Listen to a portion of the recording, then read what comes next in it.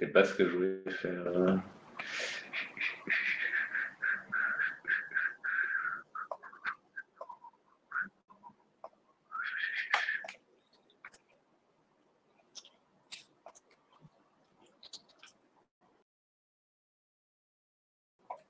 C'est mieux. Bonsoir à tous. Vous allez me dire si vous m'entendez, si vous me voyez, s'il vous plaît, dans les petits messages, euh, dans les petits messages privés, s'il vous plaît. Ouais, nickel. Qu'est-ce qu'on me dit? Qu'est-ce qu'on me dit? Bonjour, bonjour, ça marche super. Merci Nadège, merci Rémi, merci Guillaume, merci Théo, merci à tous. Donc vous me voyez et apparemment vous m'entendez aussi. Génial. On va juste euh, attendre un tout petit peu que les gens se connectent parce que 18h31, j'ai été très ponctuel. Je crois que je suis arrivé à 18h30. J'ai juste eu un, problème de fond d'écran euh, que j'avais enregistré euh, pour le. Enfin voilà, j'avais enregistré ça pour rigoler dernièrement et il est ressorti directement. Bon, donc pour ceux qui connaissent la team rentable, ils, ont reconnu les personnes et pour les autres, ben, il va falloir venir découvrir tout ça sur la chaîne YouTube de Yann ou tout, tout simplement dans la formation au pays. Mais euh, ouais, pour ceux qui connaissent, ils ont dû rigoler.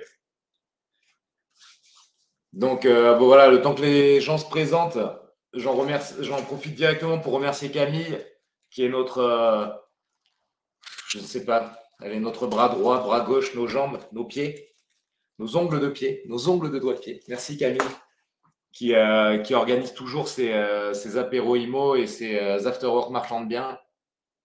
Puisqu'en fait, c'est elle qui nous prépare tous les supports, qui organise tout. Et comme ça, nous, on a juste à être présent devant vous. Donc, en fait, on a la partie la plus simple. Et merci Camille pour tout ce que tu fais pour nous. Tu es au top. Alors, Samuel, on fait comment pour voir et écrire sur le chat? Alors, ben, Samuel, du coup, euh, tu vois, tu peux écrire là puisque je te vois et, je te lis. Donc, euh, ce qu'on va faire ce soir, ce qu'on va faire ce soir, enfin ce soir, ce, début de soirée, cet apéro. Donc, j'ai pas pris, euh, j'ai toujours oublié de prendre un truc à boire. Moi, je fais apéro j'ai même pas une bière, j'ai rien. Donc, tant pis, vous buvez à ma santé. Ça me fera plaisir. Oui, Antonin, c'est là, c'est bon. Donc, ce qu'on va faire, on va parler d'immobilier, bien sûr. Euh, je vous invite à poser vos questions dans l'onglet questions. C'est-à-dire que le chat est réservé, euh, je pense, euh, aux administrateurs. Donc, ce sera, ce sera par l'onglet questions que vous allez pouvoir me, poser vos questions, justement. Et j'essaierai d'y répondre au fur et à mesure.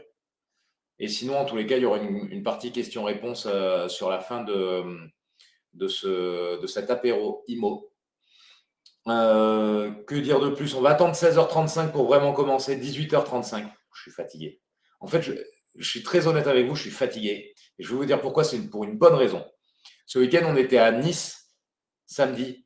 Pas pour les demi-finales de top 14 de rugby, comme tout le monde pourrait imaginer. Parce qu'à chaque fois que j'ai croisé quelqu'un, d'ailleurs, euh, à Nice, c'était ah, vous allez voir les, demi-finales de top 14 de rugby. Bien, pas du tout. Donc, j'étais peut-être le seul euh, rugbyman à pas aller voir les, les finales de top 14 et être à Nice. J'étais à un événement beaucoup plus intéressant, d'autant plus que moi je suis plutôt pour l'UBB. Donc, euh, donc c'était un événement beaucoup plus intéressant puisqu'en fait, on a été reçu par Green Bull, donc par Green Bull qui organise aussi cet apéro euh, IMO. Donc moi je représente bien sûr Green Bull, mais j'ai été aussi invité, c'était super cool. Donc en fait, on a eu un, événement pour nos apprenants de, la, formation de l'incubateur marchand de biens. Donc en fait, tous les, euh, hum, tous les participants de l'incubateur marchand de biens ont été invités au Negresco à Lille. Je sais pas, à Lille, je suis vraiment fatigué. À Nice, au Negresco à Nice. Je ne sais pas si vous euh, savez, euh, si vous connaissez le Negresco, mais en tous les cas, si un jour vous avez besoin d'aller à Nice et que vous cherchez un hôtel, allez au Negresco, c'est top. Sur la promenade des, Anglais, c'est vraiment, vraiment super. Et donc, on a fait un gros événement sur, sur la journée de samedi on, les a mis bien, euh, les, personnes qui sont dans l'incubateur marchand de biens. Alors, ce soir, on ne parlera pas de marchand de biens, on va parler plutôt de locatif. Mais toujours est-il que je représenterai aussi Green Bull. On a différentes formations. Et pour en revenir à ce que je disais au départ, pourquoi je suis fatigué? Parce que euh, samedi, je suis parti tôt en avion. Euh, enfin, voilà, grosso modo, je n'ai pas dormi pendant 24 heures. Et à mon âge, mon grand âge, mon âge avancé, mon âge avancé, euh, il me faut à peu près trois semaines pour récupérer deux jours. Vous voyez un peu le, truc? Et si entre dans les trois semaines qui suivent, je refais un truc, ça double. Donc en fait, si je fais la fête, une semaine de récup, re la fête, il me faut cinq semaines derrière. Incroyable. Je suis euh, épuisé, épuisant, épuisé. Bon, on a attendu un peu, on est quasiment à 200 participants, ça commence à sentir bon. J'aime bien quand il y a un peu de monde. Je vois qu'il y a des questions déjà. Euh, bon, vous êtes chaud, quoi, en fait. Donc, avant, avant de commencer à répondre aux questions, je vais lancer. Et ne m'en voulez pas si ça met un peu de temps parce que je suis clairement nul en informatique. Je suis, euh, je suis pas nul, nul. Disons que j'ai le, niveau de quelqu'un de 80 ans à peu près et qui n'a bien sûr jamais eu d'ordinateur. Donc, là, je vais vous partager le fameux PowerPoint qui a été fait par Camille. Donc, euh, s'il est mal fait, ce n'est pas du tout ma faute, bien sûr. Sachez-le. Et vous me dites si vous voyez, euh, si, c'est bon pour vous là dans le, si vous pouvez me mettre un petit commentaire pour me dire si vous, le voyez bien, pardon. Et je vais essayer de vous le passer. Euh, tac. Est-ce que je peux le mettre en plein écran, agrandir cette fenêtre pour tout le monde? En fait, je ne suis pas si mauvais que ça. Donc là, grosso modo, dites-moi, vous voyez le PDF en grand et moi en petit. Voilà, 10 sur 10. Merci Antonin je, en fait, je gère très très bien l'informatique, je, m'impressionne tout seul. Donc, apéro IMO, live. Comment se lancer dans l'immobilier locatif? Et oui, aujourd'hui, on ne parle pas de marchand de biens, puisque la dernière fois qu'on s'était vu, c'était pour ça. Et donc, euh, là, c'est pour le locatif, émission du 22 juin 2022, 22, 22, 22, il n'y a que du 2. Et bien sûr, vous voyez ma bonne trombine avec euh, mon petit euh, Teddy Green Bull Campus, qui est de toute beauté, mais un peu chaud par ces temps-ci. Alors, Deuxième slide. Qui sommes-nous? Alors, je vais vous présenter Green Bull Campus. Donc, Green Bull Campus, c'est une filière du groupe Green Bull, bien sûr, acteur international de plusieurs sociétés implantées en France, en Suisse et aux Émirats. Pour faire simple, je fais très simple parce que euh, j'aime bien quand c'est simple. Euh, grosso modo, pour ce qui est de en France, c'est un peu plutôt la, c'est plutôt la filière formation et euh, immobilier. Et ce qui est aux Émirats, c'est plutôt financier, avec notamment Aria, pour ceux qui connaissent. Green Bull Campus, alors je pense qu'on l'est, mais je ne veux pas m'avancer. Donc on a l'ambition en tous les cas d'être le plus grand campus interactif de France. Donc Green Bull Campus accompagne plus de 6000 apprenants, 6000 apprenants au travers des filières entrepreneuriales et immobilières. Donc effectivement, on a plusieurs formations, notamment en entrepreneuriat, alors, on en a divers, donc je ne les connais même pas forcément toutes parce que moi, je suis plutôt spécialisé immobilier, puisque, bon, j'y viendrai après, c'est mon cœur de, métier. Mais toujours est-il qu'on a vraiment filière entrepreneuriale et filière immobilière. Et qu'on a quand même 6000 apprenants, donc 6000 personnes qui me supportent, peut-être un peu moins, mais quasiment tous les jours. Qui suis-je? Alors Camille, voilà, par exemple, vous voyez le type de photo que je n'aurais jamais mis, moi personnellement, avec cette petite tête de rat. Donc, euh, qui suis-je? Euh, je ne suis pas bodybuilder, j'avais essayé, mais euh, voilà. Donc, on me dit qualité de webcam horrible. Bah, écoute-moi, Thibaut, je pense que c'est du mieux que je peux et c'est peut-être la qualité de mon, réseau internet qui est pourri parce que je suis, à, je suis, en ville, mais dans une petite ville. je suis à Bergerac et j'ai toujours pas, bah, j'ai toujours pas la fibre, je bataille pour, mais j'ai toujours pas la fibre. Donc, c'est du mieux qu'on puisse le faire. En tous les cas, croyez-moi, moi, je suis à fond et je vous donne tout ce que je peux. Euh, que voulais-je dire? Que voulais-je dire? Qui suis-je? Oui, qui suis-je? Donc, Philippe. Philippe Toralba, exactement. N'hésitez pas si vous voulez me suivre euh, sur Instagram parce qu'on partage certaines choses. Et si vous voulez me poser des questions sur les formations, ce sera pratique sur Instagram. Philippe Toralba, euh, Green Bull Campus. Donc, comme ça, au moins, les présentations sont faites. Donc, j'ai 38 ans depuis peu, je suis marié, j'ai deux enfants, deux petites filles, adorables, bien sûr. Euh, j'ai plusieurs casquettes en fait. Hors Green Bull, je suis courtier en prix immobilier, c'est-à-dire que j'ai une société de courtage en prix immobilier. Aujourd'hui, j'ai sept salariés et je rayonne sur euh, la Dordogne, plus généralement même le sud-ouest, voire la France entière. Donc c'est pareil, si vous avez euh, besoin de regarder une vidéo sur le courtage pour voir un peu ce qu'est le courtage, n'hésitez pas à aller voir euh, Yann Darwin, sa chaîne YouTube. Il a fait une vidéo Il est venu à Bergerac pour tourner. On a parlé du courtage. C'est que du courtage. Je pense que c'est pas mal. Ça dure 30, 40 minutes, je ne sais plus. Et euh, voilà, j'essaie de détailler un peu mon métier et ça vous donne des tips aussi pour déposer les dossiers vous-même. Ensuite, je suis coach en investissement immobilier, donc coach en investissement immobilier chez Green Bull Campus pour la formation EPI, celle dont on va parler aujourd'hui puisque c'est la formation qui, euh, qui parle plus de l'immobilier locatif, donc euh, entreprise à prépondérance immobilière, EPI. Et je suis coach aussi dans l'incubateur marchand de biens puisque bien sûr, je suis et investisseur et marchand de biens moi aussi, donc j'ai ces deux casquettes-là. Et je suis donc coach, coach, coach, coach. Je suis coach dans EPI et dans l'incubateur. Peut-être m'avez-vous vu euh, dernièrement, comme je vous le disais, pour l'afterwork marchand de biens, on parlait plutôt de l'incubateur. Je donne des cours aussi euh, dans des écoles de commerce. Mes spécialités sont clairement la fiscalité, le montage de prêts, de dossiers bancaires, succession, ça va bien aussi. Ça, je donne des cours de succession aussi. Comptabilité, parce que ça va un peu avec la fiscalité. Donc, fiscalité, le côté comptable, mais plutôt fiscal de, de l'immobilier. Et euh, ouais, et puis du coup, euh, en étant moi-même investisseur, euh, forcément, on commence à maîtriser un peu les travaux et tout ce qui va autour dans l'immobilier. Donc voilà, investissement immobilier en général, et locatif et marchand bien, mais notamment fiscalité, parce qu'en fait, bizarrement, j'aime ça étonnamment, incroyablement, j'aime la fiscalité. Donc ça, c'était moi. Alors, j'ai pas toujours des petites étoiles là, hein, euh, en bas de, euh, qui m'entourent comme ça quand je marche dans la rue. Et quand je marche dans la rue, je ne fais pas cette tête non plus. Camille, merci pour la photo encore une fois. Qu'est-ce que, qu'est-ce que l'immobilier locatif? Eh oui, reprenons les bases. Reprenons les bases. Qu'est-ce que l'immobilier locatif? Donc, l'immobilier locatif, tout simplement, tout simplement, c'est le fait d'avoir un bien qui est mis en location.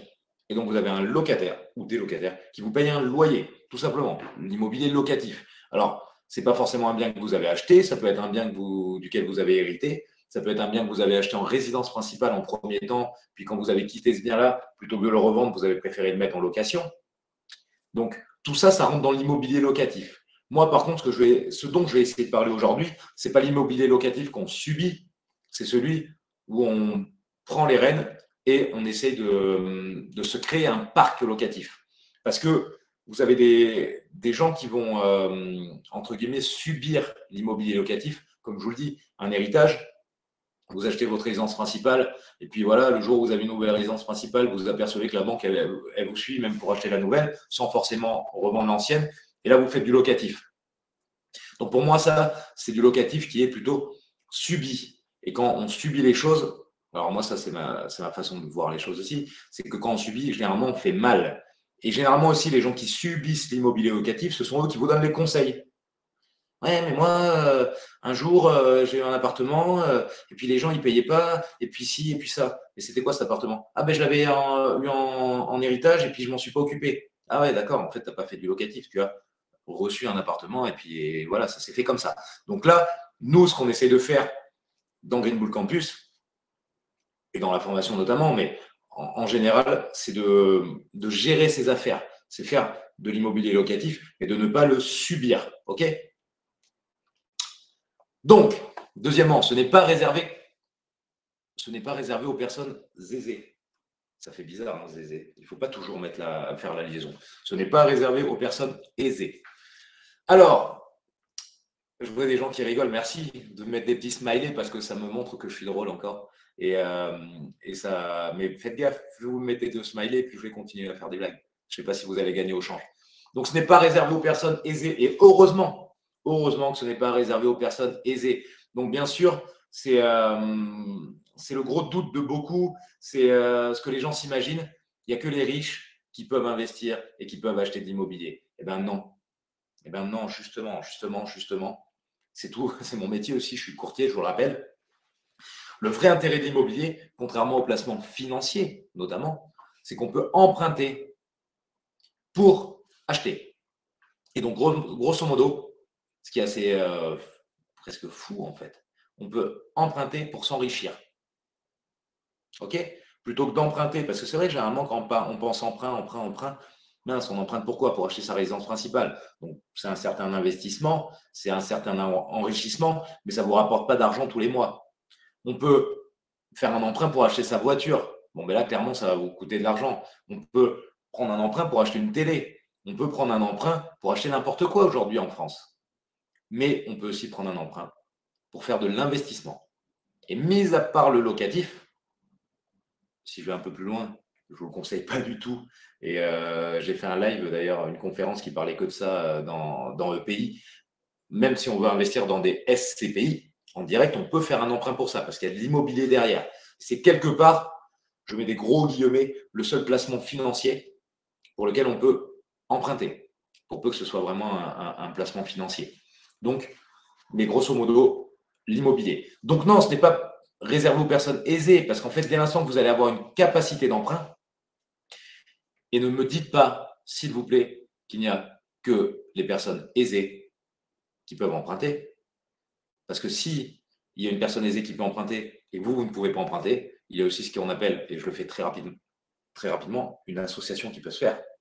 Et vous pouvez vous associer et du coup, la personne aisée vous donne de la capacité d'emprunt en gros, et même en étant complètement euh, pas une personne aisée, vous pouvez emprunter.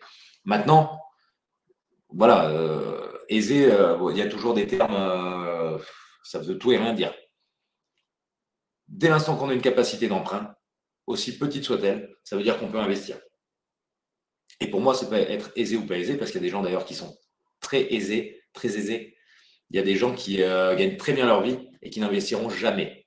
Donc, pour moi, effectivement, ce n'est pas réservé aux personnes aisées. C'est réservé aux personnes qui vont avoir le mindset, qui ont l'envie et qui vont vouloir investir tout simplement et passer la seconde. On a des exemples tous les jours, j'exagère, toutes les semaines dans l'académie de personnes qui ne sont pas aisés, on va dire, dans le langage courant et qui investissent.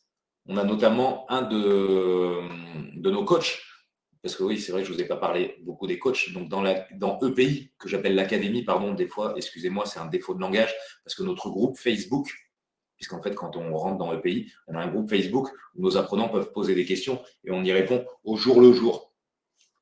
Et ça, en fait, nous, on appelle ça l'académie entre nous dans le, sur le Facebook. Donc, nous sommes cinq coachs, cinq coachs, qui répondons à vos questions tous les jours. Et dans ces coachs, notamment, nous avons Léo. Léo est un enfant. Léo est un, un bien chalant. Euh, Léo est un, coach qui a commencé, qui a commencé en fait, euh, avant d'être coach, à être tout simplement apprenant dans l'académie. Donc, il était là en tant que, client, tout simplement. Et il a commencé à investir en étant euh, je perds mes mots, en alternance. Donc il était en alternance. Donc vous comprenez bien que quelqu'un qui est en alternance, dans l'idée, ce n'est pas quelqu'un qu'on va dire aisé, puisque en alternance, je ne sais pas combien il gagnait, mais à mon avis, il ne gagnait pas beaucoup plus que le SMIC. Donc on ne peut pas dire que c'était quelqu'un qui était aisé.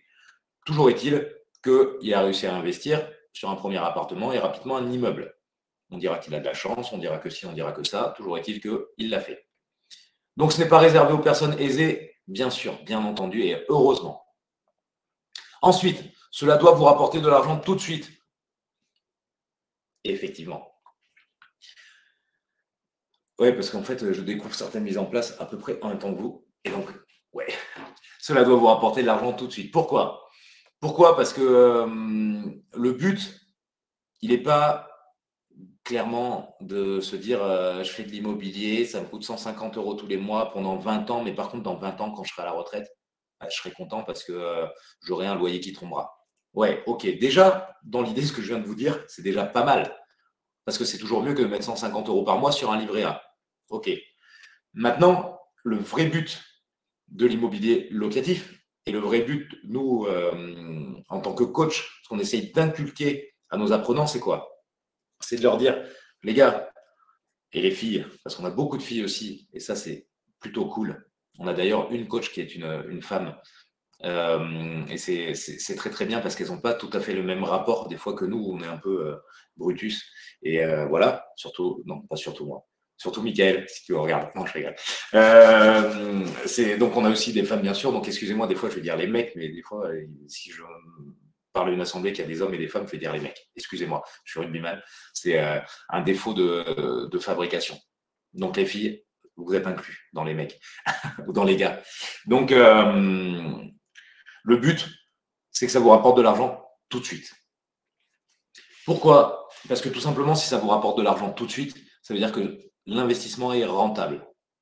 Et si l'investissement est rentable, potentiellement, ça va faire aussi que moi, en tant que courtier, quand je vais redéposer un deuxième dossier, on va pouvoir s'appuyer sur ce premier bien qui est rentable et qui rapporte de l'argent. Donc tout simplement, quand on dit aussi qu'il doit rapporter de l'argent, c'est quoi? C'est que grosso modo, on a un loyer. En face, j'essaye de... Vous me voyez, hein, toujours euh, sur la cam. Ouais, vous me voyez. On va partir du principe que vous me voyez. Merci d'avoir fait ce changement. Je pense que c'est Camille, elle est trop forte. Donc en fait, vous avez un loyer qui est là. En face, vous avez des charges. Et bon, la plus grosse charge, généralement, c'est la mensualité de prêt. OK? Et le but, c'est quoi? Imaginez que vous ouvrez un compte bancaire où il n'y a que cette opération. Il n'y a pas vos salaires, il n'y a pas vos autres charges, il n'y a que l'opération immobilière en tant que Moi, ce que je veux, pour mes apprenants, c'est que le loyer soit supérieur aux charges. Et ça va dégager ce qu'on appelle un cash flow. Un cash flow. Vous avez déjà peut-être entendu parler de ça, mais ça veut dire grosso modo sur votre compte bancaire, à la fin du mois, vous avez par exemple 1000 euros de loyer et vous avez 800 euros de charges, tout compris. Et donc, il se dégage 200 euros, 200 euros de cash flow. Donc ça, c'est super intéressant parce que ça fait que nous, derrière aussi, pour vous refinancer, on peut s'appuyer sur ce bien-là. Donc en fait, pour vous, c'est bien parce qu'il y a de l'argent qui se dégage.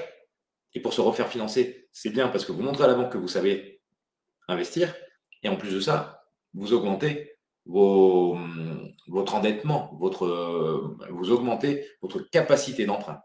Puisque vous avez plus de loyers qui rentrent, puisque bien sûr, je ne l'ai pas dit, pour avoir un cash flow positif, ce qui serait euh, une mauvaise réflexion, c'est se dire j'ai mon loyer, en face j'ai le crédit, et ouais, pour avoir un moins gros crédit, je peux mettre beaucoup d'apports, par exemple.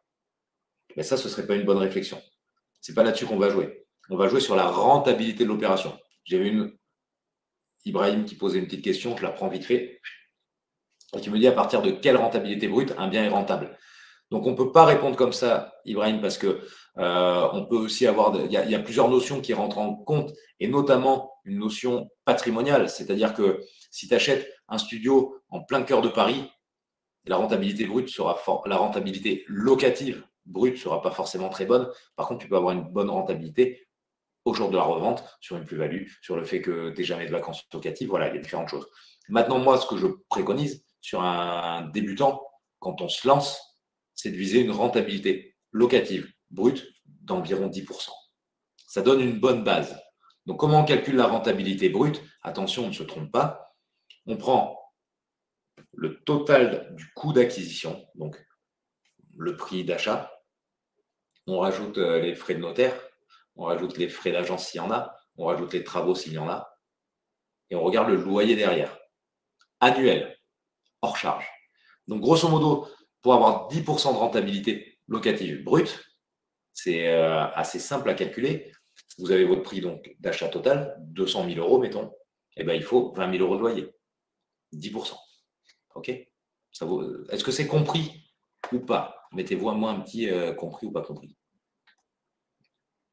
Rentable brut ou net de 10%. Brut. Je parle, euh, Diana, je parle de brut, mais moi, mon brut, Diana, c'est un vrai brut. C'est-à-dire que une vraie brute. C'est je prends les frais notaires, je prends tout, c'est-à-dire vraiment le coût total du projet. Ok, Diana? C'est le coût total du projet. Ça, c'est le brut. Non, si tu es à 10% net ou net-net, donc net de tout, quand on parle de net, c'est hors charge, et voire même hors impôt quand on est net-net. Si tu es à 10% net-net, tu peux y aller les yeux fermés. C'est top. Ok, je regrossis, dites-moi. Oh, ça y est, je suis trop fort. J'ai compris moi aussi, Camille, tu as vu.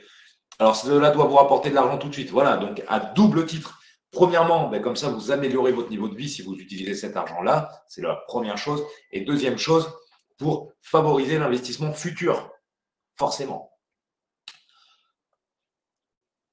Ensuite, on ciblait une zone géographique. Effectivement, effectivement, ne vous dispersez pas.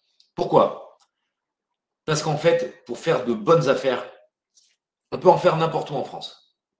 Il y a des zones qui sont plus ou moins euh, accessibles.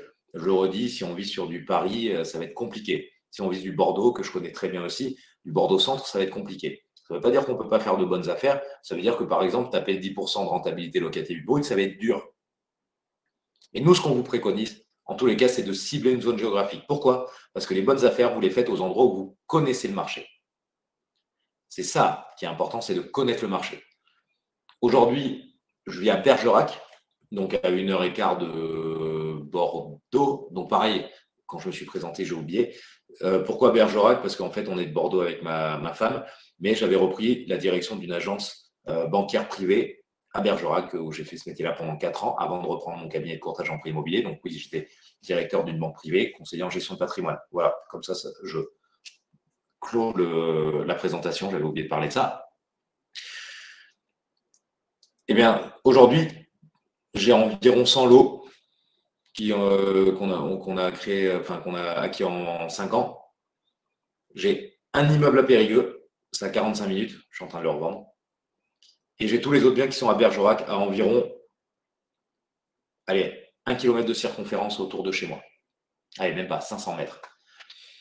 Le marché, je le connais par cœur. Et aujourd'hui, pour vous donner un exemple que je ne vous conseille pas de suivre, je suis capable d'acheter un bien sans le visiter, de faire une offre sans le visiter. Parce qu'en fait, je connais complètement mon secteur.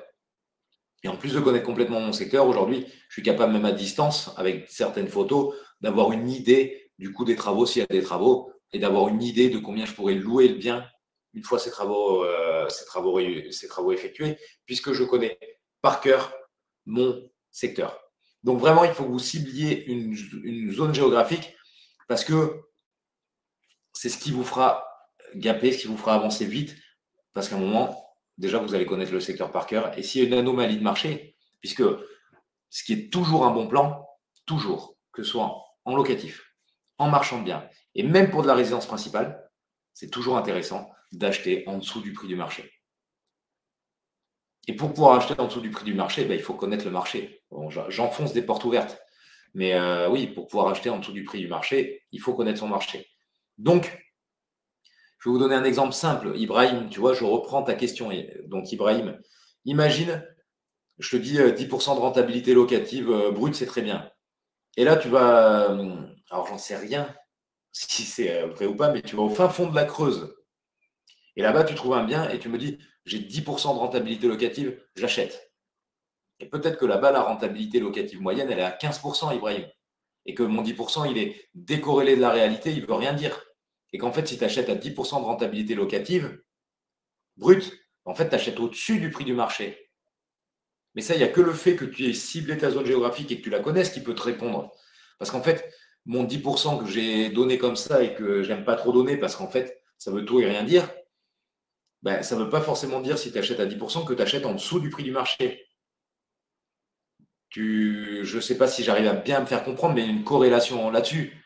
Puisque si tous les biens se vendent avec plutôt une rentabilité locative de 15% et toi tu achètes à 10, ben forcément tu achètes au-dessus du prix du marché. Et en fait, sur un truc où tu te dis c'est une bonne affaire, mais c'en est une mauvaise. Pourquoi? Parce que tu ne connaissais pas ton secteur et tu t'es dit je ne connais pas le secteur, par contre j'ai 10%, j'y vais. OK? OK. Donc, bien sûr, cibler sa, zone géographique. Euh, Camille, s'il y a n'importe quoi, n'hésite pas à m'écrire. Hein. Je te suis en même temps euh, sur, sur WhatsApp, je le dis devant tout le monde. Parce que voilà, il y a toujours, Camille est toujours là. Donc euh, si, si besoin de quelque chose, tu, n'hésites pas à me le dire. Trouver une bonne affaire, ben, en fait, j'ai grillé les étapes. Bien sûr que le but est de trouver une bonne affaire. Et que la bonne affaire, comme je vous le dis, c'est acheter en dessous du prix du marché. Pourquoi? Alors encore une fois, on n'est pas en train de parler de marchand de biens aujourd'hui. Marchand de biens, je fais un petit aparté très rapide. Achat-revente. J'achète pour revendre. Mon but est de gagner de l'argent sur un achat-revente. Donc, sans parler de ça, parce que là, on se doute bien que euh, si on ne trouve pas une bonne affaire, il n'y a pas d'histoire. Mais même en locatif, le but sera toujours de trouver une bonne affaire. Et la bonne affaire, c'est quand vous achetez en dessous du prix du marché. Je le dis, je le redis, je le dis, je le redis, je le dis, je le redis en dessous du prix du marché. Pourquoi? Parce que si vous achetez en dessous du prix du marché, quoi qu'il en soit, quoi qu'il se passe, même si la rentabilité locative n'est pas folle, en tous les cas, quand vous allez le revendre, vous allez le revendre plus cher que vous allez l'acheter. Et donc, vous allez gagner de l'argent. Automatiquement. Pourquoi aussi? Parce qu'en fait, je vous spoil parce que si vous êtes débutant, euh, vous n'avez pas encore cette idée-là en tête. Mais malgré ce que vous croyez aujourd'hui, quand je vous parle là et que vous vous dites euh, je vais acheter un bien sur 20 ans et puis comme ça j'aurai ma retraite, ben en fait, ce bien que vous allez acheter là, vous n'allez pas le garder jusqu'à la retraite. Vous allez le revendre avant. Je vous le dis. Je vous le dis déjà en fait. Vous ne le savez pas encore, mais je vous le dis. Donc vous allez le revendre avant. Et quand vous allez le revendre, vous allez faire de la plus-value ou de la moins-value, vous allez le revendre le prix que vous l'avez acheté. Et si vous avez acheté en dessous du prix du marché, vous allez gagner de l'argent. Et ça, c'est top. Ça, c'est top. Donc, trouver une bonne affaire, ce sera toujours essayer d'acheter en dessous du prix du marché. Comme ça, vous ne prenez jamais aucun risque. Alors, j'ai deux, trois questions et je vais les prendre à la volée. Après, j'irai, euh, j'irai, euh, je continuerai à avancer. Mais j'ai Karl, par exemple. Alors, euh, allez, je, commence, je commence par Antonin. Comment connaître son secteur? Et Comment tu connais ton secteur?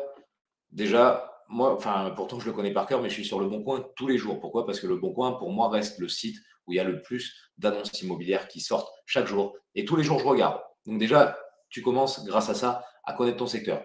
Après, tu regardes, bon, tu peux regarder divers sites. Tu regardes aussi sur DVF et Talab. Gardez ce site en tête. Vous tapez DVF et Talab. Vous pouvez voir à quel prix ont été vendus les biens dans les cinq dernières années. Bon, il y a toujours six mois de, décalage, mais vous avez les cinq dernières années.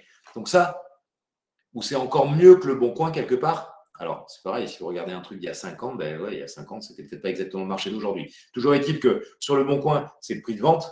Sur DVF et Talab, c'est le prix auquel ça a été vendu. Et des fois, c'est quand même pas la même chose. C'est-à-dire que vous pouvez mettre un bien trop cher, il ne se vendra pas, justement. Faire le tour des agences.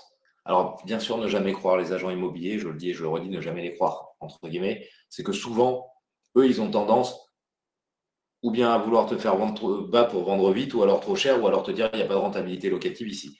Voilà. Moi, euh, quand je rencontre des agents immobiliers, euh, même sur mon secteur, ils me disent au-dessus de 6%, ça n'existe pas ici. Moi, je fais 12, 15. Donc euh, voilà, on n'a pas la même vision des choses. Donc comment connaître son secteur? Il va vraiment falloir, Antonin, que tu creuses, que tu creuses, que tu regardes. Et tous les jours, en fait. Et tous les jours. Et tous les jours. Et si tu, et tu vois un truc qui se vend très vite sur le bon coin, tu dis ouais, tu vois, tu vas commencer à dire ouais, j'avais vu que c'était pas cher. Vu que c'était pas cher, effectivement, c'est vite parti.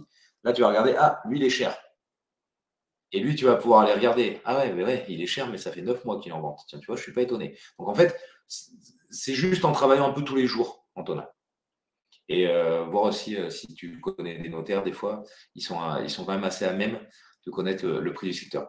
Steve, bonjour, j'ai un projet à 12% de renta. Le souci, c'est que je suis non résident et aucune banque, même la BNP, j'y suis depuis plus de 30 ans, de me suivre. Que faire? Ben, Que faire? Il faut continuer à aller chercher. Généralement, pour un non résident, tu vas avoir 30% d'apports qui vont, merci Camille, qui vont être demandés. Et euh, sinon, ben, peut-être ça passera par l'association, Steve. Karl, Peux-tu refaire ton calcul de 10% Please. Yes, I can. Je parle très peu anglais, mais. Enfin, si j'étais directeur, quand même, j'ai une banque anglaise. Donc, euh, non, je ne parle pas bien anglais, mais je parlais. Euh, oui, je peux faire mon calcul de 10%, 200 000, 20, 000, ça fait 10%. Non, je regarde. Le mec, euh, juste 10%. Non, tu prends ton prix d'achat total, tout compris. J'ai des rides, les gars. Les gars, donc là, les filles compris, j'ai des rides, je suis vraiment fatigué. je n'aurais jamais dû me regarder. 10%. Euh, donc, ton prix d'achat total, prix d'acquisition auquel tu rajoutes tous les frais. Donc, tous les frais, ce sont les frais notaires, ce sont les frais de.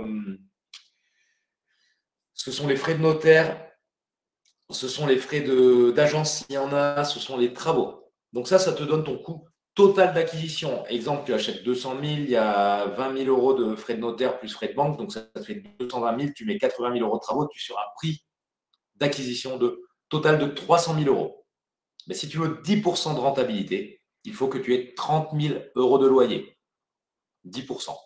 10% de 300 000, ça fait 30 000. Donc attention, ne prenez pas mon exemple à l'envers.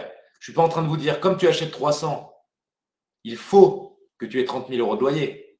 Je suis en train de vous dire, si vous visitez un bien et que vous déterminez qu'une fois les travaux faits, qu'une fois ci, qu'une fois ça, il y aura 30 000 euros de loyer, il ne faut pas acheter plus que 300 000. Enfin, tout compris. Il ne faut pas que ça vous revienne à plus que 300 000. Ne me faites pas dire l'inverse. Parce que si tu te dis j'achète 300 et qu'en fait il y a 15 000 euros de loyer, je ne suis pas en train de vous dire qu'il faut le louer deux fois plus cher. Ça ne marchera pas. Non. Par contre, s'il y a 15 000 euros de loyer, ça vous pour vous débrouiller, notamment en négociant avec les agents immobiliers, parce que quand vous leur demandez, il n'y a jamais de négociation, parce qu'il y a toujours des gens qui sont sur le coup. Donc euh, voilà, les gens ils sont sur le coup. Attends, mais il y a un tel, il m'a déjà fait une propos. Et puis, mais bon, comme je vous aime bien, vous voyez, je vous dis, ça, ça vend 200 000, il y a une propos à 199, mais je vous aime bien. Donc si vous faites une, une contre-proposition à 199 500, je vous le laisse. Oh, tu m'as pris pour un pigeonneau, un petit pigeon qui se lève tous les matins. Non, s'il a une propos à 199, il l'a vendu le bien déjà. Donc, il ne faut pas mettre d'émotion là-dedans. Et ça, c'est très difficile. Mais quand on dit trouver une bonne affaire, il y a aussi, outre trouver le bien en tant que tel et la bonne affaire euh, qui tombe comme ça, il y a aussi la négociation. Parce que ça passe par là. Et dans une négociation, il faut réussir à ne pas mettre d'émotionnel et pas se dire j'achète, j'achète, j'achète, parce qu'en fait, sinon, ça va faire comme quand, je euh, je sais pas, vous allez au casino et que vous dites allez, je joue une fois. Et puis quand tu as fini, allez, une deuxième fois, là, et une troisième fois, et puis en fait, euh, quand, ben, à la fin, tu l'achètes au prix, et puis au prix, c'était pas bien. Ne me faites pas dire encore une fois ce que je n'ai pas dit, j'aime bien cette phrase. Ne me faites pas dire ce que je n'ai pas dit. Pas de raccourci. Si vous visitez un bien et que le prix est top et qu'il n'y a pas besoin de négocier, ce n'est pas obligatoire de négocier. La négociation, elle est utile quand il y en a besoin. Vous trouvez un bien super. Moi, ça m'arrive souvent maintenant. Je visite, en, je visite en premier, je fais une offre au prix. S'il n'y a pas besoin de négocier, ça sert à rien de négocier juste pour le style et se dire je suis trop fort, j'ai négocié. Oui, et puis tu es trop fort, à négocier. Celui qui a visité après toi, il a fait une offre au prix parce que là, c'était vraiment le prix et puis tu n'achètes pas. Donc, c'est ça qui est compliqué en fait. C'est trouver ce juste milieu. Arriver à se dire à un moment, je visite, c'est le bon prix, j'achète. Ou alors là, c'est trop cher et je vais négocier. Et en fait, vous vous, mettez, et ça c'est dur, c'est ça qui est dur, il faut vous mettre un prix plafond. Il faut vous mettre un prix plafond. Je visite.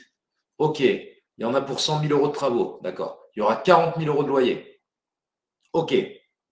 Donc en tout, il faut que ça me revienne à 400 000 euros maximum. Je vous donne un tip ceci frais de banque plus frais de notaire, grosso modo 10%. Donc si vous avez un bien à 200 000, il va vous revenir à 220 en tout. Donc là, on était sur notre exemple. J'ai 40 000 euros de loyer, j'ai 100 000 euros de travaux, en tout, il faut qu'il me revienne à 300 000. Donc 300 000 moins 10%, il faut que j'achète maximum 270 000 euros. C'est votre plafond. Il ne faudra pas l'acheter plus cher que ça. Donc je ne dis pas que la première proposition que vous allez faire, vous allez la faire à 270. Il ne faudra pas que ça dépasse ça. Peut-être que vous allez commencer à 250 parce qu'il est à 290, ça va négocier, pim pam poum. Mais vous, dans votre tête, vous dites plus que 270, je ne peux pas. Alors, quand j'ai calculé mes 10%, je ne les ai pas calculés exactement puisque j'ai fait 10% de moins de 300 000, c'est pour vous donner un exemple. Mais grosso modo, vous dites à plus de 270, je n'y vais pas. Et donc à la fin, on aura bien 270, plus 10%, 297, on arrondit à 300, plus 100 000 euros de travaux. Vous avez pris une petite marche sur les travaux, hein, toujours, parce que c'est plus quand on fait une estimation, on a toujours tendance plutôt à les dépasser qu'à en avoir moins que prévu. Et vous tombez à 400 000. Vous avez 40 000 euros de loyer, vous êtes à vos 10%. Donc en fait, il faut vraiment que vous, vous arriviez à faire ça. C'est déterminer le loyer qui arrivera à la fin, déterminer les travaux s'il y en a, et faire votre proposition par rapport à ça. S'il y a déjà un locataire qui s'est déjà loué, c'est un peu plus simple. Euh, Karl, j'espère que ça a répondu à ta question. Euh, tac, tac, tac. Euh, bon, je, fais la slide d'après, je recommencerai sur les questions. Plus tard. Oh ouais, super, le 9, j'adore ça. Euh, sauf très rares exceptions, ne surtout pas acheter neuf. Eh ouais, eh ouais, eh ouais, ouais, ouais, ouais, ouais, ouais, ouais. Bien sûr qu'il ne faut pas acheter neuf. Pourquoi? Enfin, bien sûr qu'il ne faut pas acheter neuf. J'exagère. Mais grosso modo, quand vous achetez neuf, vous achetez cher.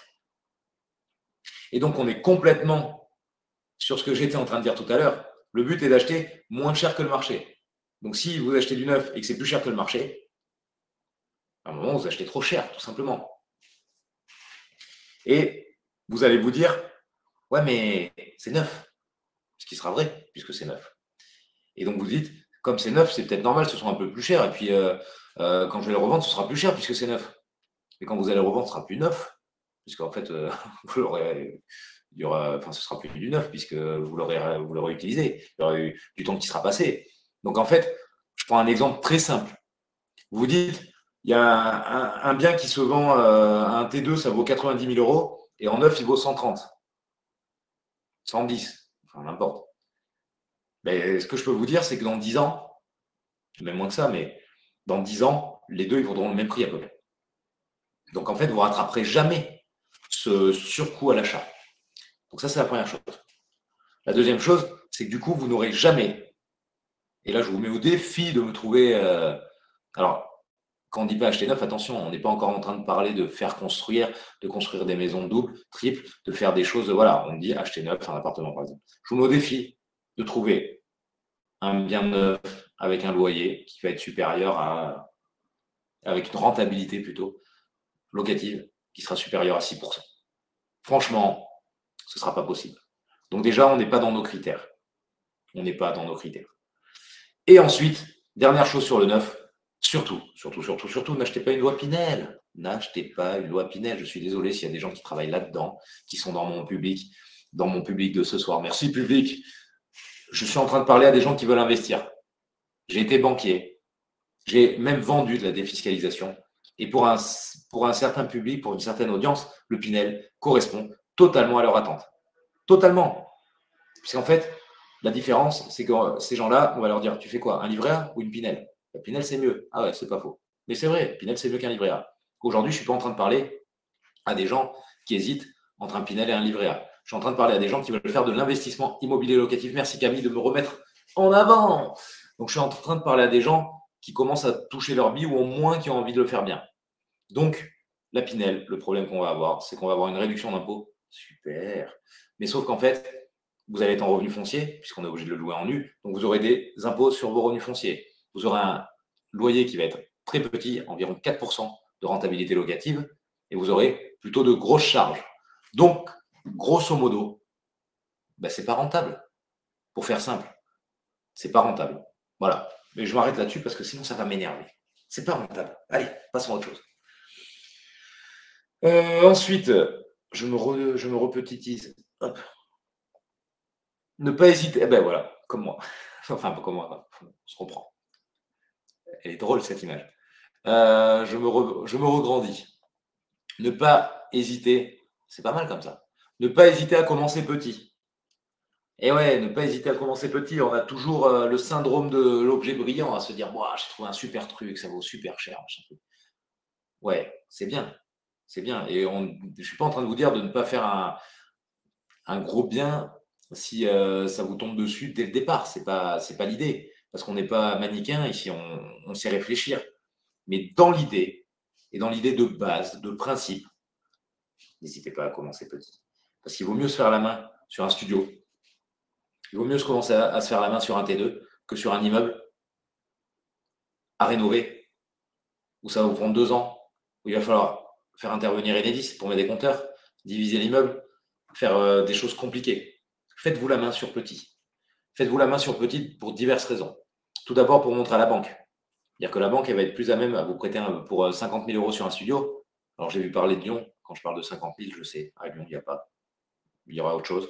Toujours est-il que la banque, elle sera plus à même pour un premier investissement à vous prêter pour un studio que pour un immeuble, encore une fois, parce que vous êtes un débutant, on va dire, attends, euh, faites tes preuves, faites tes preuves, mec. Les femmes inclus, vous vous rappelez. Faites vos preuves, les jeunes. Donc, pour cette raison-là. Deuxième chose, s'il y a des travaux. S'il y a des travaux, alors en termes de pourcentage d'erreur dans votre estimation de travaux, sera la même chose. Vous vous trompez de 10%, par exemple. Vous vous ratez, vous, vous trompez de 10%. Votre studio, vous aviez estimé 11 000 euros travaux, 10 000 euros de travaux. Il y en a 11 000. Vous êtes trompé à hauteur de 10%. Ouais, 1000 balles. OK. C'est chiant, mais ce n'est pas la mort. Vous achetez un bien qui vaut 500 000 euros. Vous avez 300 000 euros de travaux. Vous, vous trompez à hauteur de 10%. Vous manque 30 000 euros. C'est plus la même. C'est plus la même. Les 1000 euros, tu les trouves. Les 30 000, tu les trouves peut-être pas tu les trouves pas, tu finis pas ton immeuble, tu finis pas ton immeuble, tu n'as pas de loyer, tu n'as pas de loyer, pas de loyer, pas de loyer, pas de loyer, pas d'argent, pas d'argent, pas d'argent, pas d'argent, tu arrêtes de manger, tu viens tout maigre, tu meurs. Voilà. Donc non, il ne faut pas se tromper. Donc non, si il manque 30 000 euros et que vous vous retrouvez coincé, imaginez. Et le pire de pire, le pire du pire. Bonjour, monsieur le banquier. Ouais, je me suis raté. Il me faut 30 000 euros de plus, s'il vous plaît. Par contre, pensez à moi pour le prochain investissement parce que ça m'a servi de leçon quand même. Le banquier, rigole, quoi. Il dit, ah ouais, ok, tu as besoin de 30 000. Ben non, je peux pas. Et euh, ton prochain investissement, ah ben, attends, laisse-moi. Ben non, je peux pas non plus. Donc, euh, non, non, surtout, surtout, faites attention. Donc, pourquoi commencer petit pour ces raisons-là? Encore une fois, pourquoi commencer petit? Parce que vous n'aurez souvent, quand on commence petit, on n'a pas de problème, par exemple, de division. Parce que où on gagne beaucoup d'argent, souvent, c'est quand on achète un immeuble, une maison. On la divise en plusieurs appartements. Là-dessus, on peut faire des coûts et, trouver une belle rentabilité. Quand on commence petit, ben, on va commencer plutôt par un appartement qui est déjà créé. Peut-être même, et vous voyez, ce n'est pas un conseil que je donnerais à long terme, mais peut-être même commencer petit et dans une copropriété. Alors moi, je ne suis pas fan des copros parce qu'il y a des charges qui sont là, mais j'ai un peu plus d'arriéré que vous. Mais euh, pour quelqu'un qui débute, d'avoir une copro, finalement, quand même, ça protège. Et s'il y a des travaux à faire dans un immeuble, ça se partage. Donc, c'est pas du tout choquant de commencer par un petit appartement, une petite maison. D'ailleurs, ça dépend des prix euh, de tout, mais c'est pas du tout choquant. Et euh, je pense même que c'est une bonne idée pour se faire la main. Donc, ne pas hésiter à commencer petit. On a tous commencé petit. On a tous commencé petit. Rénover dès l'achat avec l'argent de la banque. Et oui, pourquoi? Parce que on veut faire des bonnes affaires. Et que Réfléchissons rapidement. Vous trouvez un bien, et ce bien, il est refait à neuf. Il est refait à neuf totalement. Et comment vous allez l'acheter en dessous du prix du marché? Qu'est-ce qui fait que la personne à qui vous allez l'acheter, dans les smileys, pardon, j'ai quelqu'un qui pleure tout le temps? Euh, écris-moi, dis-moi qu'est-ce qui te fait pleurer? Je ne sais pas qui tu es, mais si tu es très triste, tu peux m'écrire et me dire euh, qu'est-ce qui te fait pleurer? Voilà, il y a quelqu'un qui pleure là. Écris-moi. Dis-moi ce qui te fait pleurer. Donc, pour faire cette fichue bonne affaire, en termes ne serait-ce que de négociation. Alors, encore une fois, vous tombez sur un appartement refait à neuf, c'est euh, une petite mamie qui part en maison de retraite, elle a besoin de vendre vite, et vous, vous arrivez là, et puis vous êtes un peu son sauveur, vous lui achetez sans condition suspensive de prêt, et vous achetez en dessous du prix du marché. Faites-le. Faites-le. N'hésitez pas. Je ne suis pas en train de vous dire de ne pas acheter un bien qui est refait à neuf. Mais je vous dis juste qu'en moyenne, il sera beaucoup plus facile déjà de négocier un bien avec des travaux et de l'acheter en dessous du prix du marché. Et bien sûr, parce qu'on n'est pas bête euh, ici, le but n'est pas que d'acheter en dessous du prix du marché, il est d'acheter en dessous du prix du marché et surtout prix d'acquisition plus travaux, qu'à la fin de tout ça, on soit en dessous du prix du marché.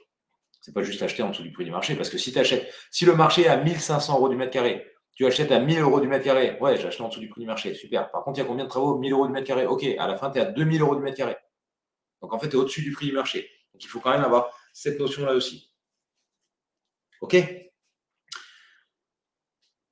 Johan ou Johan, parce que ça dépend. J'ai peur de faire des travaux. Et est-ce que c'est difficile? Alors, Johan, ne fais pas de travaux. C'est pas toi qui vas les faire déjà. Tu vas faire faire les travaux. Tu vas faire faire les travaux. Pourquoi? Parce qu'en fait, on a cette grande chance déjà en France que la banque finance les travaux. Il y a peu de pays où la banque te finance les travaux quand tu fais de l'acquisition. Donc on a une très grande chance en France. La banque finance les travaux. Et donc, quand, encore une fois, je, euh, je dis que... Euh, qu'est-ce que j'étais en train de dire? La banque finance les travaux. Ah oui, quand je dis qu'on peut commencer petit. Joanne, tu peux commencer petit et faire les travaux toi-même. Généralement, les gens aiment bien commencer et faire les travaux eux-mêmes. Donc c'est pareil, achète un studio de 20 mètres carrés si tu veux faire les, travaux tout seul. Parce que sinon, ça va prendre un temps fou et ainsi de suite. Et tu risques de te, planter si ça dépasse ça. Donc, en gros, Joanne, c'est pas compliqué. Si tu ne sais pas faire les travaux, tu ne les fais pas. Tu vas pas t'embêter. Pourquoi? Parce qu'en fait, souvent faire les travaux soi-même, c'est la fausse bonne idée. Parce que tu vas te dire, Ouais, alors si je passe par une entreprise, j'en ai pour 50 euh, 000 euros de travaux. Et si je fais moi-même, j'en ai pour 20 000. Ok. Sauf que toi, ce n'est pas ton métier. Donc en fait, au lieu de rentrer le soir chez toi et profiter de ta famille, tu vas faire des travaux. Bon, encore une fois, si c'est pour gagner de l'argent et tout, ça peut s'entendre. Mais pendant que tu fais tes travaux, tu ne fais pas autre chose. Pendant que tu fais tes travaux, tu n'es pas en train de rechercher de nouveaux biens qui sont rentables. Donc déjà, ça, ça me gêne. Parce qu'en fait, ton coût horaire de travaux que tu économises, il vaut peut-être pas ce que tu seras en train de faire à la place de le faire. Première chose. Deuxième chose, les travaux, tu ne vas pas les faire aussi bien qu'un artisan, logiquement. Alors après, il y a des mauvais artisans, on peut toujours dire ce qu'on veut, ce n'est pas l'idée. Là, c'est juste de se dire, logiquement, toi, en tant que noobs, comme moi, en tant que nul dans les travaux ou même bon dans les travaux, normalement, tu fais moins bien que les artisans. Mais il y a même une notion financière, complètement financière. Imagine, toi, tu vas mettre six mois à faire des travaux, quand l'entreprise va mettre deux mois à les faire. OK Deux mois de travaux pour l'entreprise, six mois pour toi. Pendant quatre mois, tu ne touches pas de loyer. Pendant quatre mois où tu fais tes travaux en plus que l'entreprise, tu ne touches pas de loyer. Donc en fait, il faudrait vraiment poser des fois les chiffres et se dire mince, j'allais dire un autre mot un peu plus vulgaire, merde. Merde, pose les chiffres. Ça se trouve, l'entreprise va mettre trois mois, tu vas mettre un an. Et tu vas avoir 3000 euros de loyer par mois parce que c'est un immeuble. Et donc, en fait, tu, vas, tu vas rater 3000 euros de loyer par mois pendant 9 mois, ce qui fait quand même 27 000 euros. Et tu auras économisé 30 000 euros de travaux. Et tu seras dit, je suis trop fort. Sauf que tu te seras tué la vie. Tu auras passé, parce que quand toi, tu crois que tu vas mettre un an, tu vas mettre deux ans. Parce qu'à un moment, tu vas dire, ah, ça y est, j'y laisse ma santé, je suis fatigué, je suis machin, je suis truc. Ta femme, elle va dire, tu sais, je suis content, euh, ou, l'inverse, ton mari va dire, tu sais, je suis content que tu investisses, c'est bien, c'est pour nous, hein, mais on se voit plus. On ne se voit plus, en fait. Donc, je ne sais plus qui tu es. Ça me, fait, ça me fait peur quand tu rentres le soir, tout blanc de poussière. Donc, il faut penser à tout ça aussi. Donc, les travaux, Joanne, ça te fait peur, mais ce n'est pas toi qui es obligé de les faire. Tu les fais faire. Et tu les fais financer par la banque.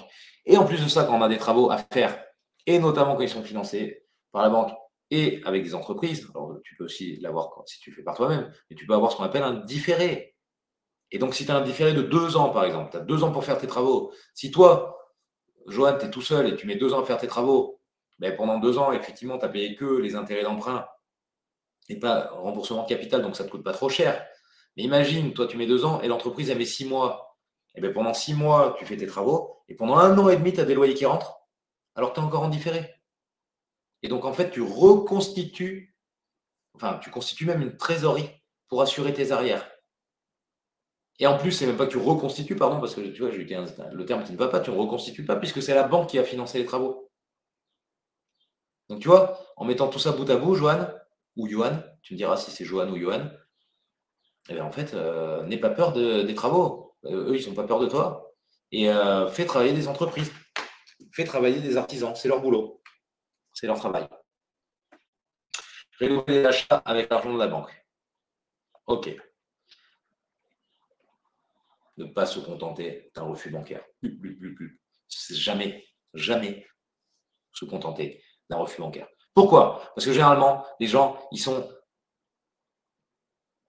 Je c'est pas gentil ce que je veux dire. Ils sont bêtes et disciplinés. La plupart des gens. Je vais voir ma banque. Et euh, ma banque, me dit, on ne peut pas te financer. Et comme on est, euh, et quand je dis bête, c'est pas bête, c'est juste qu'on fait confiance, on est discipliné en tous les cas. Et eh bien tu te dis, euh, c'est son boulot, et donc je lui fais confiance. Donc si elle ne peut pas me suivre, personne ne peut me suivre. C'est pas vrai. C'est pas vrai. Je suis courtier en prêt immobilier. Je peux vous dire que quand je reçois un dossier, je sais déjà quelle banque pourra le suivre et quelle banque ne pourra pas le suivre. Et si sa banque ne peut pas le suivre, ça ne veut pas dire qu'une autre le suivra pas. Mais si lui s'arrête à ce premier refus, si la personne s'arrête à ce premier refus, ben elle est morte. Elle est morte, décédée, sur place. Elle ne fera rien. Elle fera rien. Et je vais encore plus loin que la banque. Des fois, c'est le ou la conseillère. Tu tombes sur un conseiller qui, a envie de partir en vacances, mais on l'a tous vécu en plus que je l'ai vécu. Tu tombes sur un conseiller qui n'a pas envie de s'embêter, ton dossier, le siège a refusé. Moi, je l'ai eu une fois. Le siège a refusé. Il s'est avéré que deux ans après, deux ans après, j'ai appris que le dossier n'avait jamais été déposé au siège. Et que la conseillère, en fait, elle avait juste. Euh, elle a quitté la banque peu de temps après. Elle était euh, sûrement pas en grande forme psychologique. Elle n'avait pas envie de s'emmerder. Ben voilà.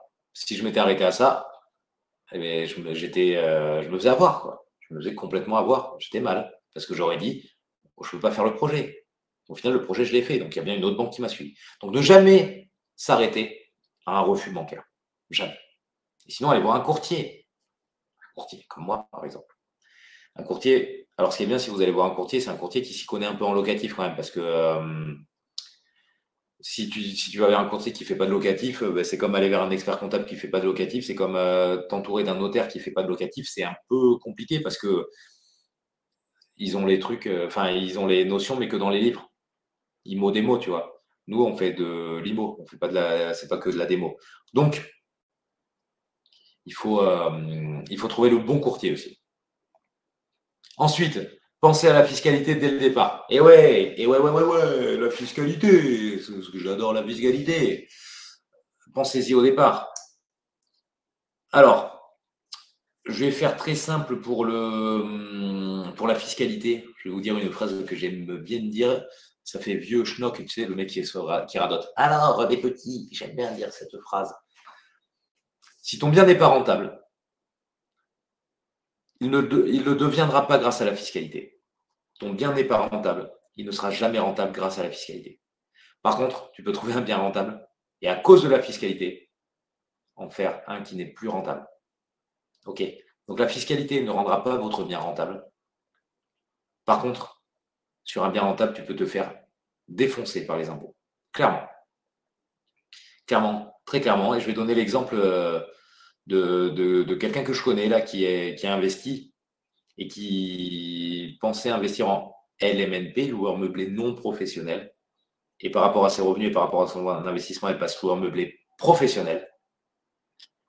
Donc sans rentrer dans les détails, au lieu d'avoir une fiscalité qui s'approchait de zéro, elle va avoir une fiscalité qui va s'approcher de, je crois qu'elle va être pas loin de 20 000 euros par, an, par an, 1900 euros par mois.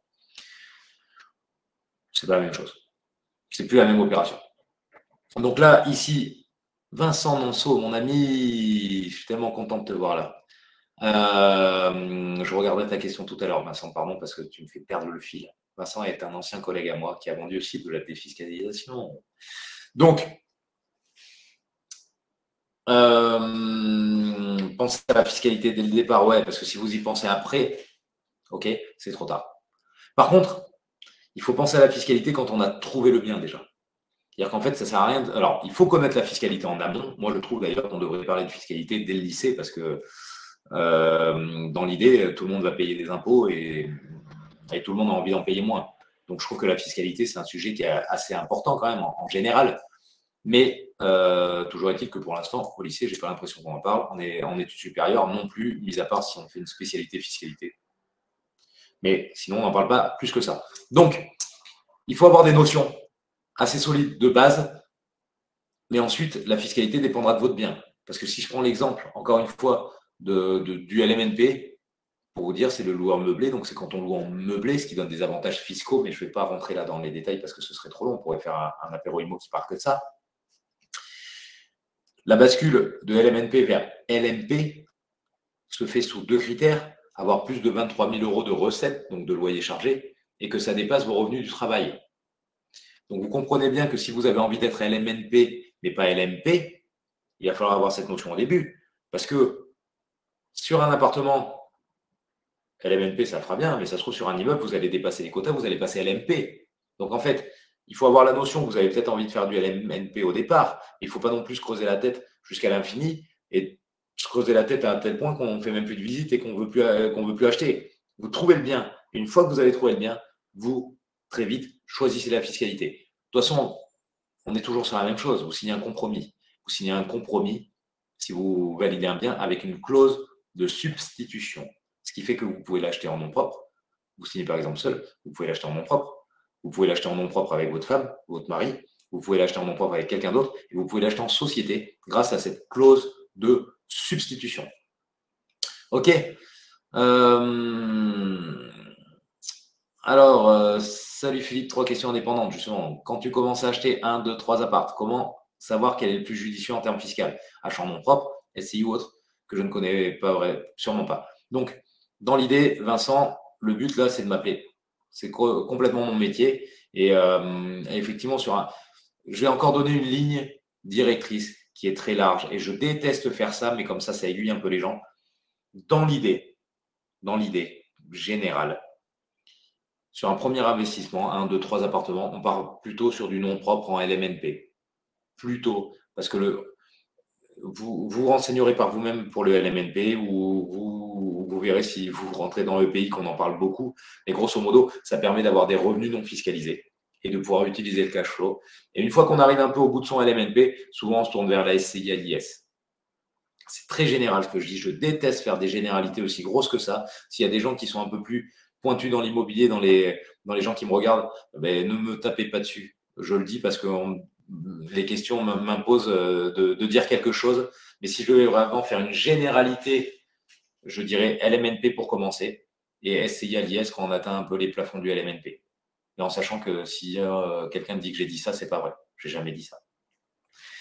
Et petit 2, est-il intéressant de mixer achat ancien, LMNP, des fiscs Ouais, il est... alors attention, ancien LMNP, ça n'a rien à voir puisque LMNP, je ne suis pas en train de parler de LMNP sans Cibouvard. Donc LMNP, c'est juste le loueur meublé non professionnel, c'est le statut de la personne qui achète et qui achète un bien, enfin, qui met en location un bien qui est meublé.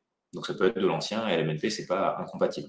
À ne pas confondre avec le LMNP sans Cibouvard, qui est sur du neuf et sur de la résidence de service et qui donne de la défiscalisation. Donc défiscalisation, est-ce qu'on peut aussi le faire en plus du reste? Oui, ça peut se mixer. Et effectivement, le seul intérêt que je vois des fois une Pinel, c'est quelqu'un qui a déjà un gros patrimoine immobilier et qui se dit bon ben voilà, je fais de la réduction d'impôt en plus parce que euh, j'ai déjà atteint certaines choses. Mais pour commencer, certainement pas. Ou alors pour faire que ça, pourquoi pas? Euh, Gérard Pierre-Louis. Donc, euh, je ne veux pas dire que tu es chiant, Gérard Pierre-Louis, mais je ne sais pas quel est ton prénom. Donc, je vais dire Gérard. OK? Ou je vais dire Pierre-Louis. Je ne sais pas en fait. Bon, je t'appelle Gérard. Excuse-moi, si c'est Pierre-Louis, tu me le diras. Pour un premier achat, tu peux confirmer qu'il faut achat en nom propre et pas faire de SCI. Non, je ne peux pas te le dire comme ça, Gérard ou Pierre-Louis.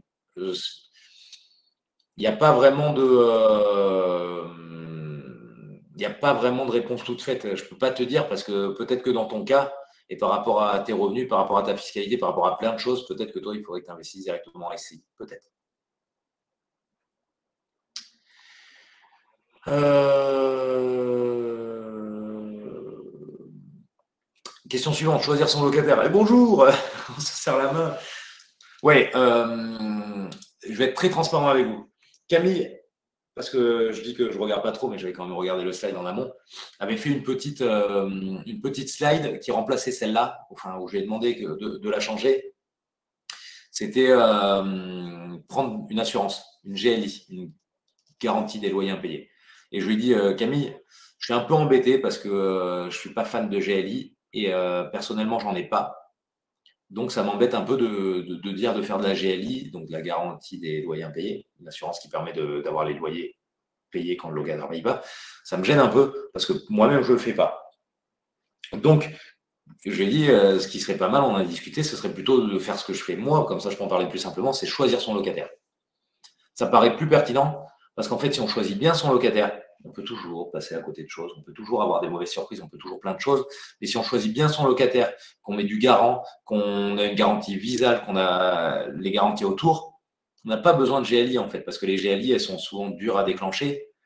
Donc, euh, pour moi, il vaut mieux bien choisir son locataire que de prendre une, garantie loyer impayé.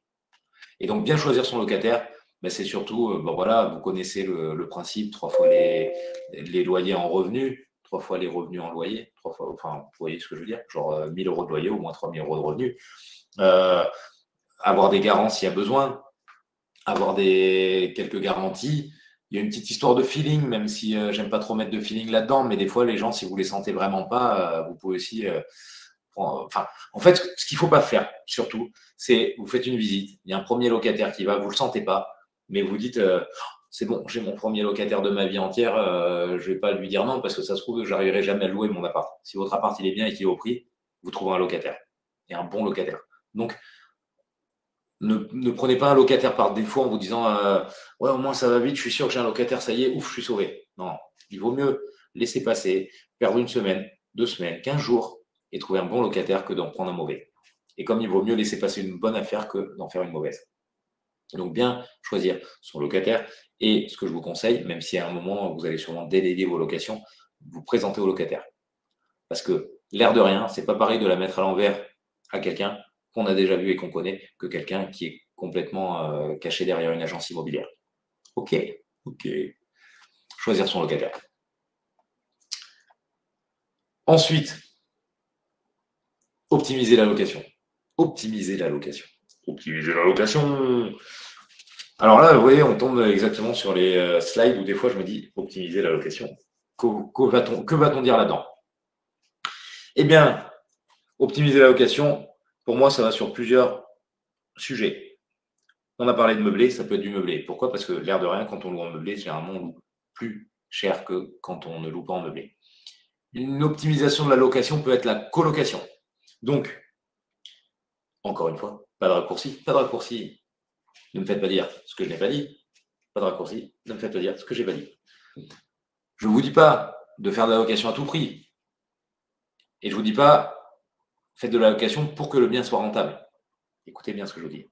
Ne faites pas de location pour que le bien soit rentable. Achetez un bien rentable. Un bien qui a une bonne rentabilité locative, qui est acheté en dessous du prix du marché. Et pour optimiser, on parle d'optimisation, faites de la coloc. Ça, ça me va. Si tu me dis, euh, ouais, j'ai acheté un bien, bon, j'ai acheté un peu au-dessus du prix du marché. Hein. On est à 2000 euros du mètre carré, mais j'ai acheté à 2005, mais ça va. Et puis, euh, bon, rentabilité locative en longue durée, euh, on est à 5%, c'est un peu, voilà. Et par contre, en coloc, on est à 8. Donc, du coup, je le prends parce que 8, c'est pas mal. Non, ça, c'est nul. Ça, c'est nul. J'ai acheté un bien, 1800 euros du mètre carré, alors que c'est 2000. En longue durée, on est à 9% de renta. Et en coloc, on est à 13. Et en plus, on est juste à côté de la fac. Là, je dis c'est pas mal. On est mieux. Coloc, optimiser la location aussi, pourquoi pas Airbnb. Airbnb, des fois en plus, ça peut se mixer avec la coloc quand c'est étudiant. Genre, vous mettez 9 mois en coloc euh, étudiante, 3 mois de Airbnb. Ça, c'est une bonne optimisation. Mais en ayant toujours en tête qu'il faut acheter en dessous du prix du marché et que votre bien doit être rentable en longue durée. C'est le plus important. Votre bien doit être rentable en longue durée. Et en fait, la coloc, le meublé, alors le meublé, c'est généralement c'est plutôt pour la fiscalité, mais on va dire la coloc du coup, et le Airbnb pour exemple, ce ne sont que des cerises sur le gâteau. Ce n'est que de l'optimisation. Ne faites donc surtout pas ce raccourci de se dire, Philippe, je me rappelle, il a dit qu'on faisait coloc euh, Airbnb. Avec ça, j'ai 8% de renta, je suis bien. Non, non, si tu fais coloc Airbnb, moi je veux à la fin de l'année, tu es 15% de renta locative. Sinon, tu fais pas. Sinon, ça veut dire que c'est pas bon. OK? Donc en fait, moi, les notions que j'ai, elles sont plutôt là. Je me dis en longue durée, je cherche du 10%. Si je devais faire de la coloc, ce serait plutôt à 12. Et si je fais du Airbnb, 15. OK? Ensuite, comment passer à l'action? Il a une petite tête, ce bonhomme vert là, non? Il a une petite tête, hein? Il a un grand corps peut-être. Il a une petite tête. Comment passer à l'action j'allais dire, en passant à l'action. À un moment, il faut se lancer. C'est-à-dire que je, suis en train, je le dis et je le redis, et c'est notre cheval de bataille. On a toujours des gens qui sont euh, ce qu'on appelle en IMO-démo et qui se disent euh, j'étudie, j'étudie, je regarde, je regarde, je regarde le bon coin, le machin, le truc, le Et puis, ils n'ont même pas fait une seule visite, en fait. Et même des fois, dans, le pays, dans la, formation dans laquelle on est coach, des fois, on pose la question on a des gens qui nous posent une question sur la fiscalité, un truc un peu pointu et tout, et quand on demande, tu as fait combien de visites? Ah ben, Je ne sais pas comment c'est les visites encore. Il faut trouver ce juste milieu. Il ne faut pas, euh, il ne faut pas s'arrêter à juste vouloir apprendre, apprendre, apprendre, apprendre, apprendre. À un moment, il faut passer à l'acte. C'est comme, euh, tu vois, les, gens qui font des études, euh, pure études, et les autres qui font un peu aussi de l'alternance mais malgré tout, l'alternance, tu vois, ça te donne un peu la réalité du terrain. Et des fois, il y a des gens, ils sortent de leurs études, à la fin, ils disent Ah, c'est ça la vie du. Ah, c'est quand même pas ce que j'imaginais. Il faut se confronter au terrain. Il faut passer à l'action, il faut y aller. Il n'y a pas de solution euh, miracle. Donc, il faut bien se former. Ça, c'est la première des choses. Avant tout, il faut se former. Pourquoi? Parce qu'il euh, ne faut pas le faire n'importe comment. Mais par contre, il faut passer à l'action. Et comme je le dis souvent, un con qui marche va plus loin qu'un intelligent qui reste assis. Un con qui marche, même doucement, il va plus loin qu'un intelligent qui reste assis. Ok Gardez ça en tête. Ça ne veut pas dire qu'il faut être con, mais ça veut dire que si vous êtes intelligent et que vous marchez, vous allez aller sacrément loin. Et donc, formation plus terrain. Pas que l'un et pas que l'autre. Ah, alors, buddy slide, connaître votre marché et mettre en place un plan d'action. Eh, comme je l'ai dit, il faut connaître le marché. Ça, il n'y a, pas de, a il n'y a, pas de sujet. Il faut connaître son marché. Mettre en place un plan d'action. Et oui, je vous invite à mettre en place, à mettre ce en place ce plan d'action parce que sinon on se laisse déborder. Peut-être qu'à un moment, vous allez vous dire, mon plan d'action, c'est 10 visites par semaine. Vous serez obligé d'en passer par là. Vous serez obligé d'en passer par là, de vous donner des objectifs et de les réaliser. Parce que si vous dites juste, je regarde, je regarde le bon coin, regarde. Mais en fait, euh, tu peux regarder aussi longtemps que tu veux. Si tu le regardes, le bon coin, mais il sera là. Il est là aujourd'hui, il sera là demain. Il y a des appartements, il y a des maisons, il y a tout, mais ça bouge. Et si toi tu ne bouges pas et tu restes assis à le regarder, ça ne bouge pas. Donc mets-toi des objectifs. J'appelle 20 agences. J'appelle, je fais 10 visites dans la semaine. Et c'est pas un gros objectif 10 visites dans la semaine. Mais déjà, si tu fais 10 visites dans la semaine, ça va peut-être déboucher sur une offre. Et peut-être que ton premier truc, ça doit être 10 visites par semaine et une offre par semaine. Peut-être une offre qui est décorée du marché, tu t'en fiches, mais tu te donnes des objectifs.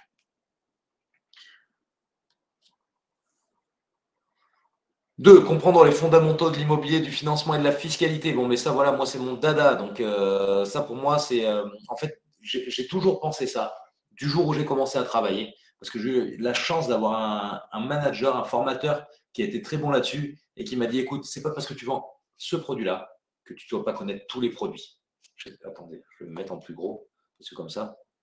Ouais, c'est pas parce que tu vends ça qu'il ne faut pas connaître ça. Et moi, je me suis toujours dit ça en tant que banquier, en tant que directeur dans ma banque privée, là, je me disais, si mon client il a besoin de ça, je lui donne ça. Mais par contre, moi, mes connaissances, elles sont comme ça. Parce que des fois, un, jour, vous aurez un client qui aura besoin de ça. Donc, j'ai toujours trouvé qu'il était euh, fondamental, hein, pour de comprendre les fondamentaux, bien sûr, mais il est fondamental d'avoir les connaissances.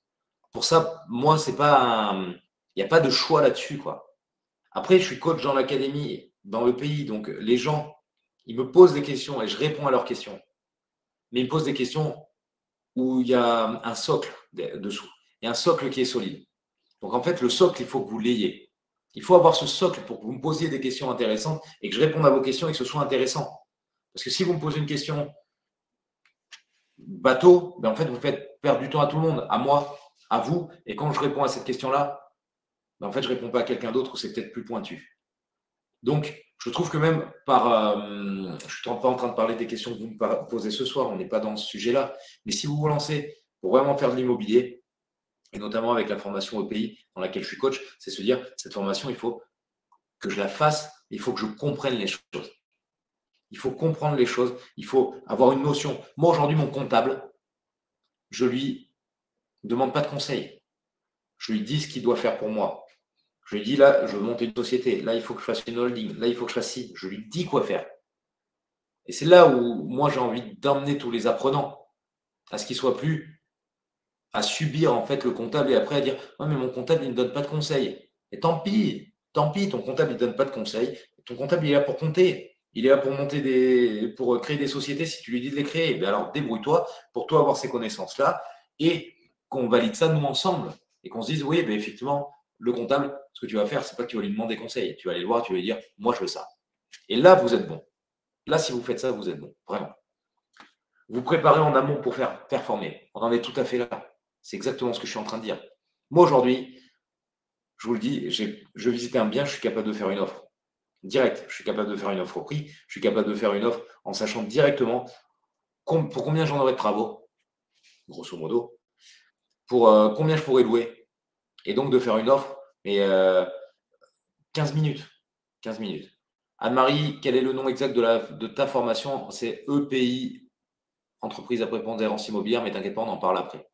Tu verras, il y aura tout qui sera détaillé.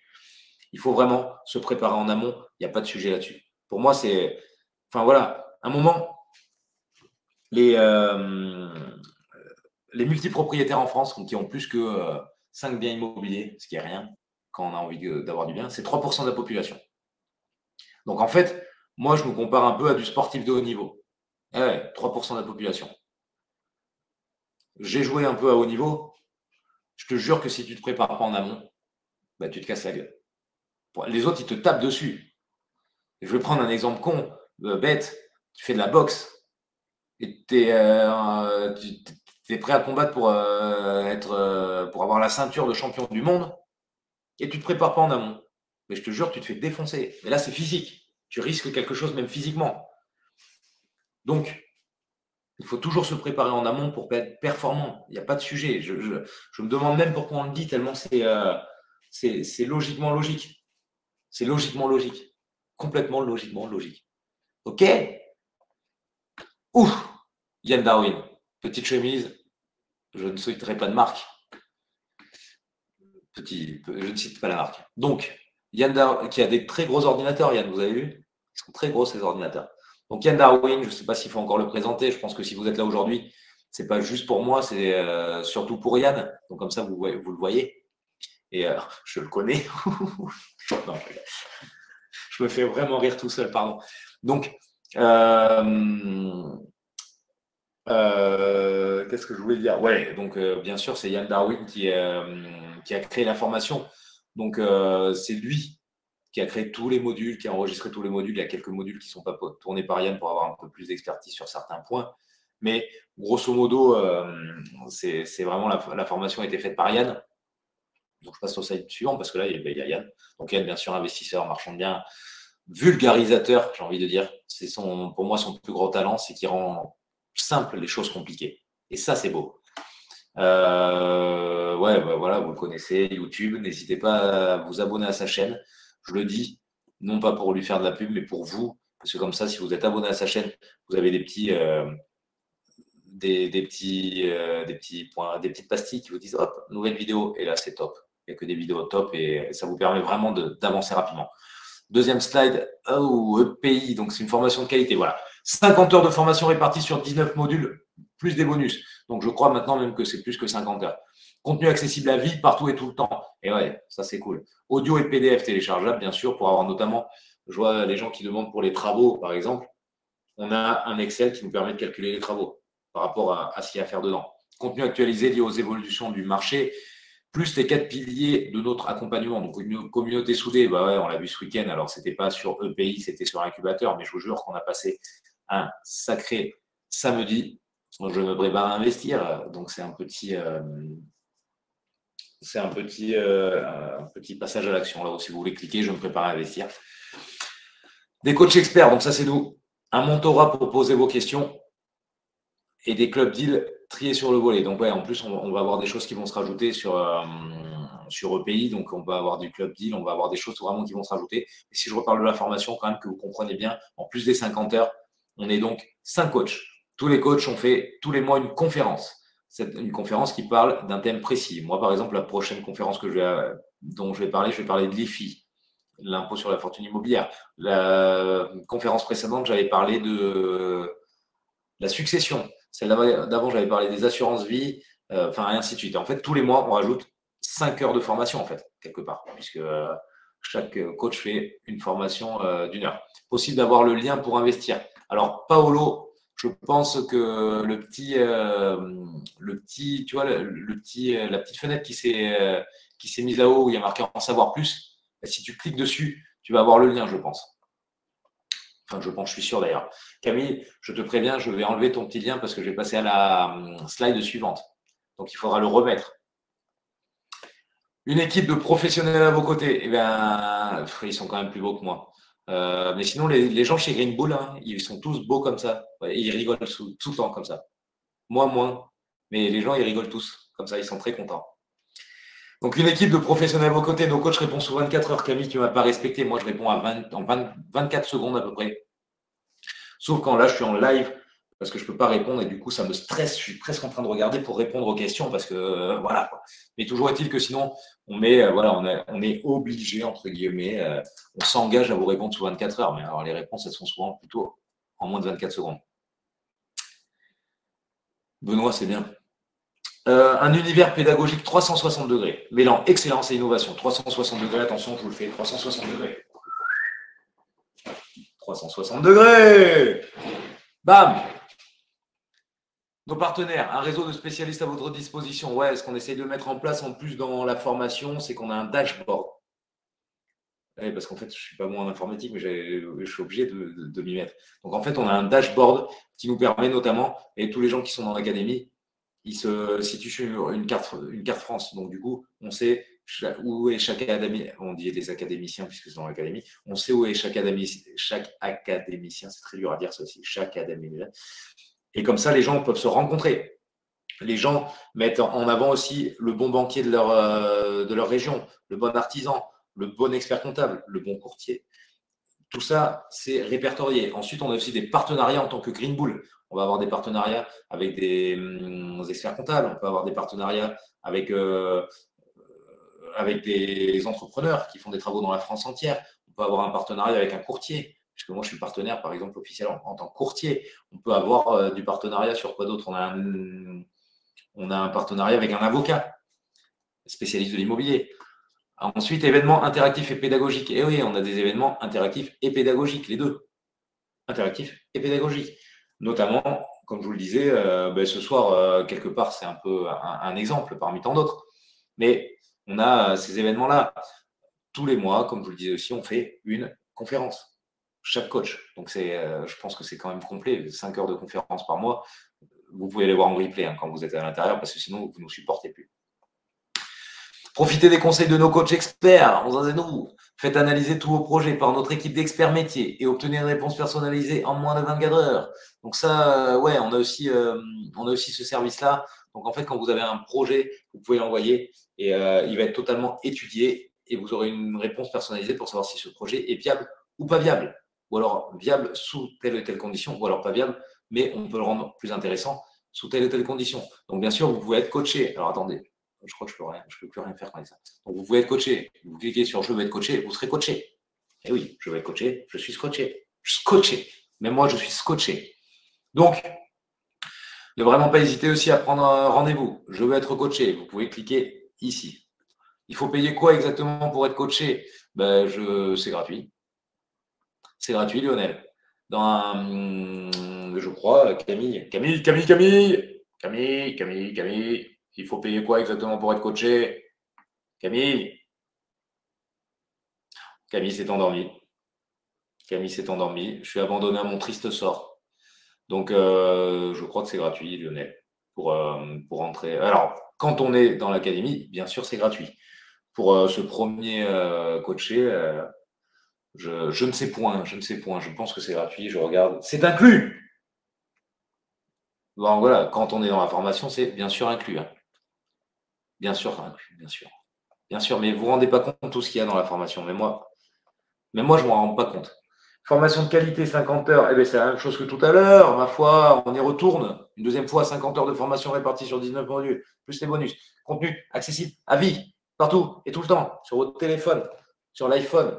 Ou, pardon, j'ai dit iPhone, je crois que c'est comme à la télé, il faut dire Samsung, euh, et je ne sais plus quoi d'autre. Sur votre téléphone portable, vous avez accès à la formation tout le temps, en audio, euh, j'écoute souvent en audio, moi. Vous voyez, vous, je sais pas, vous faites un trajet en voiture, vous écoutez la formation. Audio et PDF téléchargeables, comme je vous le disais. Contenu actualisé lié aux évolutions de marché. Ben oui, avec nos lives mensuels, quand même, on arrive bien à suivre le truc. Et en plus, Yann retourne euh, assez fréquemment, je vais dire quotidiennement, quand même pas le mais très fréquemment, les modules quand il y a des évolutions, les quatre piliers de notre, de notre accompagnement, communauté soudée, des coachs experts, mentorat, Club deal. Club deal, club deal. Club deal, c'est bien. C'est quand vous avez du cash à investir et vous ne savez pas quoi en faire, on fait du private equity sur les club deals. Ça, c'est très, très, très bien. Oui, Lionel, exactement. C'est dans la formation. Ça inclut, tout ça est inclus dans la formation. Avis.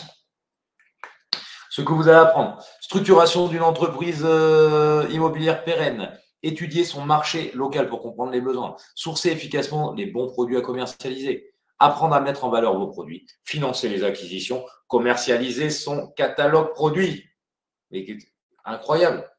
Et la formation, c'est la nôtre, Lionel, c'est celle que je suis en train de présenter. Lionel, Lionel, ça fait 20 minutes que je parle d'une formation et tu me dis, reste plus qu'à choisir la bonne. Lionel, Lionel, Lionel, écris-moi, j'ai compris, c'est cette formation-là. Paolo, pour être académicien, c'est très très puissant. Et eh oui, merci, Paolo, Paolo, pardon. Donc Lionel répond, et dépêche-toi, c'est celle-là, c'est E-P-I. Ah, Lionel. Il n'écrit pas en plus, Lionel. Ah, merci Lionel. Euh, je te taquine, Lionel. Prenez rendez-vous avec l'équipe Green Bull Campus. Camille, je veux le, le petit truc là. Mets-moi un petit volet pour qu'ils prennent rendez-vous. S'ils veulent prendre rendez-vous avec nos petits. Euh, nos, nos petits euh, Yaki, il va y avoir euh, Ben, il va y avoir Marie, il va y avoir Rémi. Euh, vous allez pouvoir les appeler pour prendre rendez-vous et qui vous expliquent et qui vous explique, qui vous explique quelle est la formation. Donc en plus, je crois qu'on a une offre spécifique qui fait qu'on peut payer en 12 fois sans frais, ce qui peut quand même soulager au départ. Donc ça, c'est plutôt cool. bien sûr, bien sûr. On est une entreprise, vous l'avez bien compris, à but commercial. Quand vous allez prendre des rendez-vous là, vous dites bien que vous appelez suite au live, suite à l'apéro IMO de Fifi. Fifi les bons tuyaux, comme on m'appelait euh, quand j'étais Jones. Fifi les bons tuyaux. Pourquoi? Parce qu'aujourd'hui, ça, c'est quand même. Je suis en train de vous donner du contenu qui est gratuit. Je trouve que c'est cool, on échange. Moi, j'aime ça. Mais par contre, pour une entreprise qui est quand même à but lucratif, malgré tout, il faut qu'on ait un retour sur cet investissement. Parce que là, normalement, je suis avec mes filles à cette heure-là. Je mange avec elles. Ça me coûte. Et donc, il faut tout simplement, je suis navré, hein, je, le dis comme ça, mais il faut qu'on arrive à sourcer et savoir d'où viennent les, euh, les, inscriptions qui vont se passer derrière, ou au moins savoir si vous avez eu des bons retours, si, pour vous c'est intéressant ça. Si ce live d'aujourd'hui, si cet apéro IMO il vous plaît, quand vous appelez, vous dites je viens suite à l'apéro IMO de Fifi. Mais dites Philippe, mais euh, comme ça nous, ça nous permet tout simplement de se dire, écoute, ben, ça marche, quoi. Les gens, ils aiment, et donc ils aiment, et donc on continue à le faire. Tout simplement. Slide suivant. À vos questions À vos questions. Camille, est-ce que la formation peut être financée par le CPF euh, J'attends. Attends. Tu as une réponse de Green Bull Campus, tu vois, ça va, qui va te répondre. C'est bien que je sois transparent. Oh, Maxime, je ne suis pas transparent quand même. Non, je rigole je remercie de, parler de ma transparence. On est plutôt comme ça dans Green Bull. Au bout d'un moment, on n'est pas bénévole. Donc, on aime donner du contenu gratuit parce qu'on trouve que c'est essentiel. On en donne beaucoup. Euh, Yann en donne beaucoup. Mais vous devez bien être conscient que si on donne du contenu gratuit, c'est que derrière, il y a une façon pour qu'on gagne de l'argent. Et qu'en fait, il faut qu'on euh, arrive à, ben, à sourcer et à se dire bon, ben là, le contenu gratuit qu'on donne, il est intéressant et il fait que derrière les gens euh, sont intéressés. Ou alors non, il sert à rien. S'il sert à rien, on ne fait pas. Clairement, si ça ne sert à rien, on ne fait pas. Philippe, je suis déjà à 35% d'endettement, puis-je quand même me lancer? Bien sûr, moi je dois être à environ 120% d'endettement. Ne t'inquiète pas, Romain, c'est pas grave. Paulo, number one de la formation sur l'immobilier foncé. Merci, Paulo, franchement, c'est le meilleur. Je n'arrive pas à accéder à la plateforme de rendez-vous. Camille, est-ce que tu peux remettre, s'il te plaît, le petit lien pour prendre la plateforme de rendez-vous? Parce que Michael Flore n'arrive pas à se connecter. Maxime, mais ouais, du coup, j'ai répondu. Mais c'est la dernière fois que tu me dis que je suis transparente. Je cherche la bagarre. Euh, Lionel, tu reviens m'embêter. Tu m'embêtes pas, Lionel, je rigolais. Bonsoir. Concernant la fiscalité sur de la location nue, est-il obligé de faire, est-on, je pense, obligé de faire des travaux tous les ans pour ne pas payer d'impôts? Ou alors payer des impôts, cela ne veut pas dire forcément qu'on n'est pas rentable. Le problème de la fiscalité sur la location nue, effectivement, c'est que généralement, ton compte bancaire, celui dont je parlais tout à l'heure, il est vide et par contre, tu payes de l'impôt parce qu'il n'y a pas beaucoup de charges. Donc, ce qui est intéressant de faire quand on fait du locatif en nu, effectivement, c'est faire des travaux. Mais généralement, c'est pour ça qu'on en sort vite ou alors qu'on essaie de pas trop avoir de revenus fonciers, donc de location nue. Parce qu'en fait, c'est un peu un cercle infernal où il faut investir, investir, investir pour ne pas repasser trop en positif, effectivement, Lionel. Camille, est-ce que la formation peut être financée par le CPF Donc voilà, réponse directe. Voilà, merci, prendre rendez-vous. Ah, ce qui est pénible, c'est que je ne peux plus descendre. Euh, quand il y a ça qui se, met, je ne peux plus descendre sur les questions. Camille, est-ce que toi, tu peux descendre sur euh, les questions ou tu es bloqué comme moi? Si tu es bloqué comme moi, c'est relou. J'attends depuis plusieurs jours qu'on m'appelle Pierre Lubrano. Alors, Pierre, ce que je te conseille, si ça ne te dérange pas, c'est de cliquer aussi sur prendre rendez-vous. Comme ça, tu prends rendez-vous. Et euh, ils vont te rappeler. Si euh, tu attends depuis plusieurs jours qu'on te rappelle, c'est pas normal parce qu'en plus, je connais les, les, personnes qui rappellent et sont très réactives. Alors Camille, je, j'enlève le prendre rendez-vous pour pouvoir descendre sur les questions. Philippe, je suis à 35% de taux d'endettement, mais c'est toujours la même question. Bruno Albertini, tu as le même euh, nom de famille que Don Pierre. Je ne sais pas si vous connaissez toujours, est-il que c'est un très beau prénom. Nom de famille, je veux dire. Corse aussi, peut-être. Je n'ai pas fait la grosse formation encore, mais déjà avec celle à 1500 euros, j'ai bien progressé. Je te jure, Bruno, je te promets, tu peux me faire confiance. Ça n'a rien à voir. Parce que dans la grosse formation, tu as accès au coach et tu as accès au groupe et c'est complètement autre chose. Enfin, c'est vraiment la step, step au-dessus. Ok, donc reste à choisir la bonne formation. Lionel, c'est bon. Pour être académicien, attends, alors maintenant j'ai plein de 17 nouvelles questions. Allez. Anne-Marie, bonjour, rebonjour. Je suis entrepreneur dans le conseil et je souhaiterais investir dans l'IMO. Dans ce cadre, je souhaiterais être déclaré sur tous les mécanismes de holding. Éclairé, pardon, éclairé. Quelle formation préconises-tu? EPI, entreprise, entreprise avec un S à prépondérance immobilière, notamment holding. J'ai fait un live sur les holdings la dernière fois, tu vois, qui m'y fait penser. J'ai fait une conférence sur les holdings. Euh, Julien, peut-on acheter la formation à plusieurs, se la partager? Je vais laisser Camille te répondre. Ça ne me regarde pas, ça. Chacun fait ce qu'il veut, mais euh, moi, je ne vous réponds pas là-dessus. Bonjour Philippe, lorsque tu évoques la rentabilité, tu comptes l'achat, mais pourquoi ne parles-tu pas de l'assurance? Parce que je parle de rentabilité brute. Christophe, puisqu'après, si on parle dans le net, on va plus loin. Maintenant, regarde, je vais euh, te dire, Christophe, une chose assez simple, comme ça tu vas comprendre pourquoi j'aime bien parler de rentabilité brute au départ. Parce qu'en fait, si tu es sur le même secteur, la rentabilité brute, elle donne un bon élément de comparaison puisque généralement les taxes foncières se ressemblent, les, charges se ressemblent aussi. Donc bien sûr, sauf si tu es en copro et pas en copro puisque les charges ne sont pas les mêmes. Et par exemple, pour deux biens qui sont situés à peu près au même endroit, qui sont tous les deux avec des charges copro et tous les deux euh, au même endroit, donc la même taxe foncière, la rentabilité brute te permet quand même de bien avancer. Et comme je suis bien obligé de partir sur quelque chose, la rentabilité brute, elle est plus facile à calculer de prime abord. Luca da Silva, j'ai 17 ans, comment suis-je commencé? Comment suis-je commencé? Tu as été commencé par bah, tes parents qui ont. Comment suis-je commencé? Comment peux-tu commencer? Mais tu, La formation, tu peux l'apprendre. Ah, puis-je Merci Luca, je rigolais, hein. bien sûr. Vous comprendrez quand vous serez dans l'académie avec nous que je rigole souvent, je ne me moque pas. Enfin, non, je rigole tout le temps. Donc Luca, comment est-ce que tu peux commencer? Ça peut être en t'associant au départ, parce que 17 euh, ans, tu ne dois pas encore avoir de salaire, donc peut-être ce sera en, t'associant pour commencer, pourquoi pas? J'espère que tu peux voir mes premières questions, Samuel. Ben non, je ne peux pas les voir, donc euh, sinon, il faut que je redescende trop. Donc, euh, reposez-moi vos questions là un peu, s'il vous plaît. Parce que là, je peux redescendre un peu, mais du coup, il faut acheter une formation. voilà, allez, je réponds aux questions. Max, bonjour, que penses-tu des achats dans les résidences de vacances, genre Pierre et Vacances? Sans bail, je le précise. Je suis pas fan quand même, Max. Je suis pas fan. Je t'appelle Max hein, parce que comme tu m'as dit que j'étais transparent, je me dis qu'on se connaît maintenant. Je t'appelle Max. Je suis quand même pas très fan.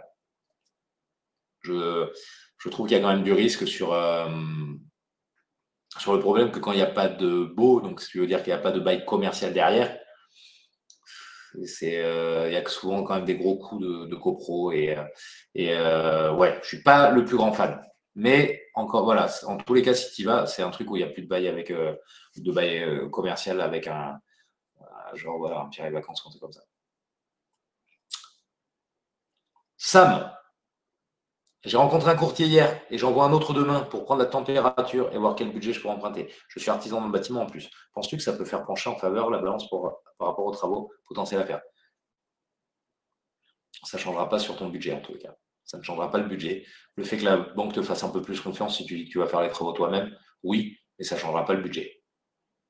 Steve, Comment trouver des associés dignes de confiance et comment faire la répartition de l'association de montage? Mais Steve, toi, tu es dans l'académie, non? Je me trompe Parce que j'ai l'impression de connaître ton nom quand même, Steve. Donc, si tu es dans l'académie, comme je pense, ben, il y a un module là-dessus, sur hum, l'association et comment faire la répartition de l'association de montage ici. Donc, comment trouver des, des associés dignes de confiance? Ben, là, en fait, euh, je sais qu'il y a notamment, pour donner un exemple très simple, il faut, voilà, faut avoir des gens qui pensent comme toi et qui parlent comme toi. Donc, il y a beaucoup de gens qui s'associent nous dans l'académie parce qu'on parle de la même chose. Ce qu'il faut surtout pas faire, c'est s'associer avec quelqu'un euh, qui est comme toi. C'est-à-dire que s'il a les mêmes compétences que toi et que toi, tu es plus endettable et qu'il n'est pas endettable, ça ne sert à rien. Si tu n'as pas d'argent, tu t'associes avec, avec quelqu'un qui en a. Si tu n'as pas de connaissances et que tu as de l'argent, tu t'associes avec quelqu'un qui a des connaissances. Mais euh, si vous êtes deux à avoir de l'argent et vous associez ensemble, ben, c'est bien, mais ça ne sert pas à grand-chose parce que vous avez de connaissances. Si vous êtes deux à avoir des connaissances et pas d'argent, vous associez ensemble, vous êtes très connaissants, mais vous n'avez pas d'argent, donc vous ne pouvez pas investir. Donc il faut vraiment y aller là-dessus. Ne pas s'associer avec des amis juste parce que ce sont des amis, ça c'est dommage. Si tu t'associes avec un ami, c'est encore une fois parce que tous les deux, vous avez à, y gagner. Comment faire la répartition Ça dépend ce que fait chacun.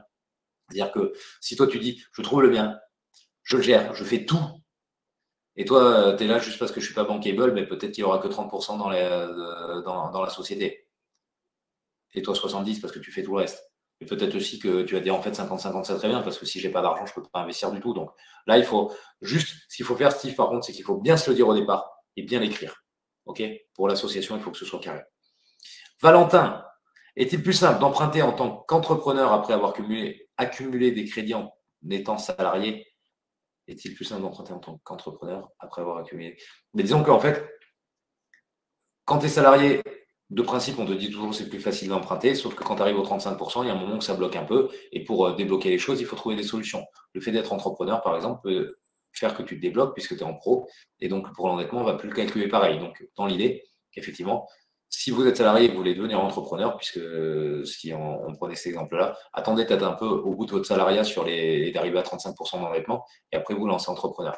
Deuxième question, peut-on surpasser sa capacité d'endettement immobilier et emprunter pour créer une entreprise? Oui, et du coup, ça n'a rien à voir puisque hum, on parle plus d'endettement immobilier euh, quand c'est pour, euh, pour créer une entreprise. En fait, si tu veux, c'est l'entreprise qui se hum, c'est l'entreprise qui s'endette. Donc on n'est plus sur du HCSF, on n'est plus sur, la même chose. Alors, on va encore répondre un peu, encore une petite dizaine de minutes, maximum 20h15. Normalement, ça finit à 20h, mais le quart d'heure euh, bordelais quoi, euh, je ne sais où. Et comme j'ai commencé un peu en retard, voilà. Mais dans pas longtemps, on va couper parce que j'ai faim. J'ai super faim et je suis fatigué encore. Je vous jure, normalement, je n'ai pas des grosses cernes comme ça. Normalement, j'ai mes yeux, ils sont comme ça, tu vois, genre ouverts. Et aujourd'hui, ils sont comme ça, genre euh, fermés. Mais ça va hein, quand même sinon. Pour la rénovation, Lucas, plutôt faire du low cost pour une meilleure renta ou du haut de gamme? Alors, je vais avoir une réponse qui va être euh, déjà de dire jamais du low cost. Mais par contre, suivant le secteur, euh, des fois le haut de gamme, tu vas en avoir pour trop cher par rapport au secteur. Donc moi, par exemple, sur, sur mon gros village, où euh, le prix au mètre carré reste malgré tout assez faible, je suis plutôt sur du moyen plus. Si je mets du haut de gamme, en fait, ça coûte trop cher. Olivier Oyer, brave Jean. Comment faire pour déléguer la gestion de A à Z quand c'est à distance? Alors, euh, Olivier, est-ce que tu peux m'en dire un peu plus? C'est la gestion locative ou la gestion des travaux, par exemple? Si c'est la gestion locative, tu prends une agence et elle gère tout de A à Z. Guillaume, euh, que penses-tu d'investir dans une résidence senior? Euh, ben, Écoute, je n'aime pas du tout ça parce qu'effectivement, on est sur des rentabilités assez pourries, de l'ordre de 4 à 4,5% sur du LMNP en 106 pouvoirs généralement. Donc tu as une réduction d'impôt de 11% euh, sur 9 ans, mais tu ne peux pas faire d'amortissement. Donc dans l'idée, je, suis, euh, je, je suis prof, je suis, intervenant en, école de commerce, tu vois. Donc, euh, donc dans l'idée, j'aime pas trop. C'est un peu comme ce qu'on disait tout à l'heure hein, sur les résidences, j'ai déjà répondu, je suis pas fan. Merci, oui, j'y vais sans bail. Merci à creuser. Ouais, Maxime, Max, creuse, Max, creuse. À quand l'apéro en présentiel? Ben écoute Romain, invite-nous, invite-nous, mais par contre je te préviens, nous euh, on est habitués, genre au Negresco à Nice, tu vois. Pas, tu m'invites pas à la guinguette euh, du coin. Attention. Sam, je voulais savoir si vous conseillez aux entrepreneurs débutants de faire de l'achat-revente au départ pour faire de la trésor ou on peut faire du locatif directement. Merci. Alors Sam, nous chez Rainbow, on ne fait pas du ou, on fait du et. Et c'est d'ailleurs pour ça qu'on a une formation sur l'immobilier locatif et qu'on a aussi l'incubateur marchand bien. Parce que le but est de faire les deux. Parce que tu as une société qui crée du cash marchand bien et tu as une société qui en a besoin de cash aussi. C'est le locatif. Donc, pim pam poum, ça s'associe très bien. J'ai acheté ma RP. Puis-je quand même m'en sortir pour faire de l'immo locatif? Eh bien oui, Max, heureusement, parce que moi-même, j'ai acheté ma RP. Donc, euh, heureusement qu'on peut. Ne sois pas inquiet par rapport à ça, Max, on peut faire les deux. Galina, c'est euh, Shanina. Alors, Galina, Shanina, où est le prénom? Mais que ce soit Galina ou Shanina, c'est cool. C'est un beau prénom. Comment faire si on est déjà à 35% d'endettement? Est-ce qu'il y a des banques qui acceptent ou considèrent comme SI en pro? Alors, quand on est à 35% d'endettement, il y a plusieurs solutions. On peut arbitrer, revendre des biens pour redescendre son taux d'endettement. On peut monter ses revenus, bien sûr, puisque mécaniquement, ça descendra l'endettement. Est-ce qu'il y a des banques qui acceptent ou considèrent comme en pro? Oui, il y en a. Galina ou Shanina, je ne sais pas si tu me le dis après, va voir sur la chaîne de Yann Darwin la vidéo sur le courtage, s'il te plaît. J'explique tout. Donc comme ça, tu auras tes réponses. Clément, Concernant la fiscalité, conseilles-tu pour un premier achat? Clément, tu ne m'as pas écouté. Tout à l'heure, je l'ai dit que je n'aimais pas dire ce genre de réponse, mais j'ai dit on commence par du LMNP après on passe sur de la SCI. Et c'est vraiment euh, global. Et j'aime pas faire ça, mais c'est pour te répondre. Tony, depuis que je suis formé, je suis à 8 bien maintenant sur deux régions. Mais oui, Tony, je sais que tu traces, tu traces ta route dans l'académie.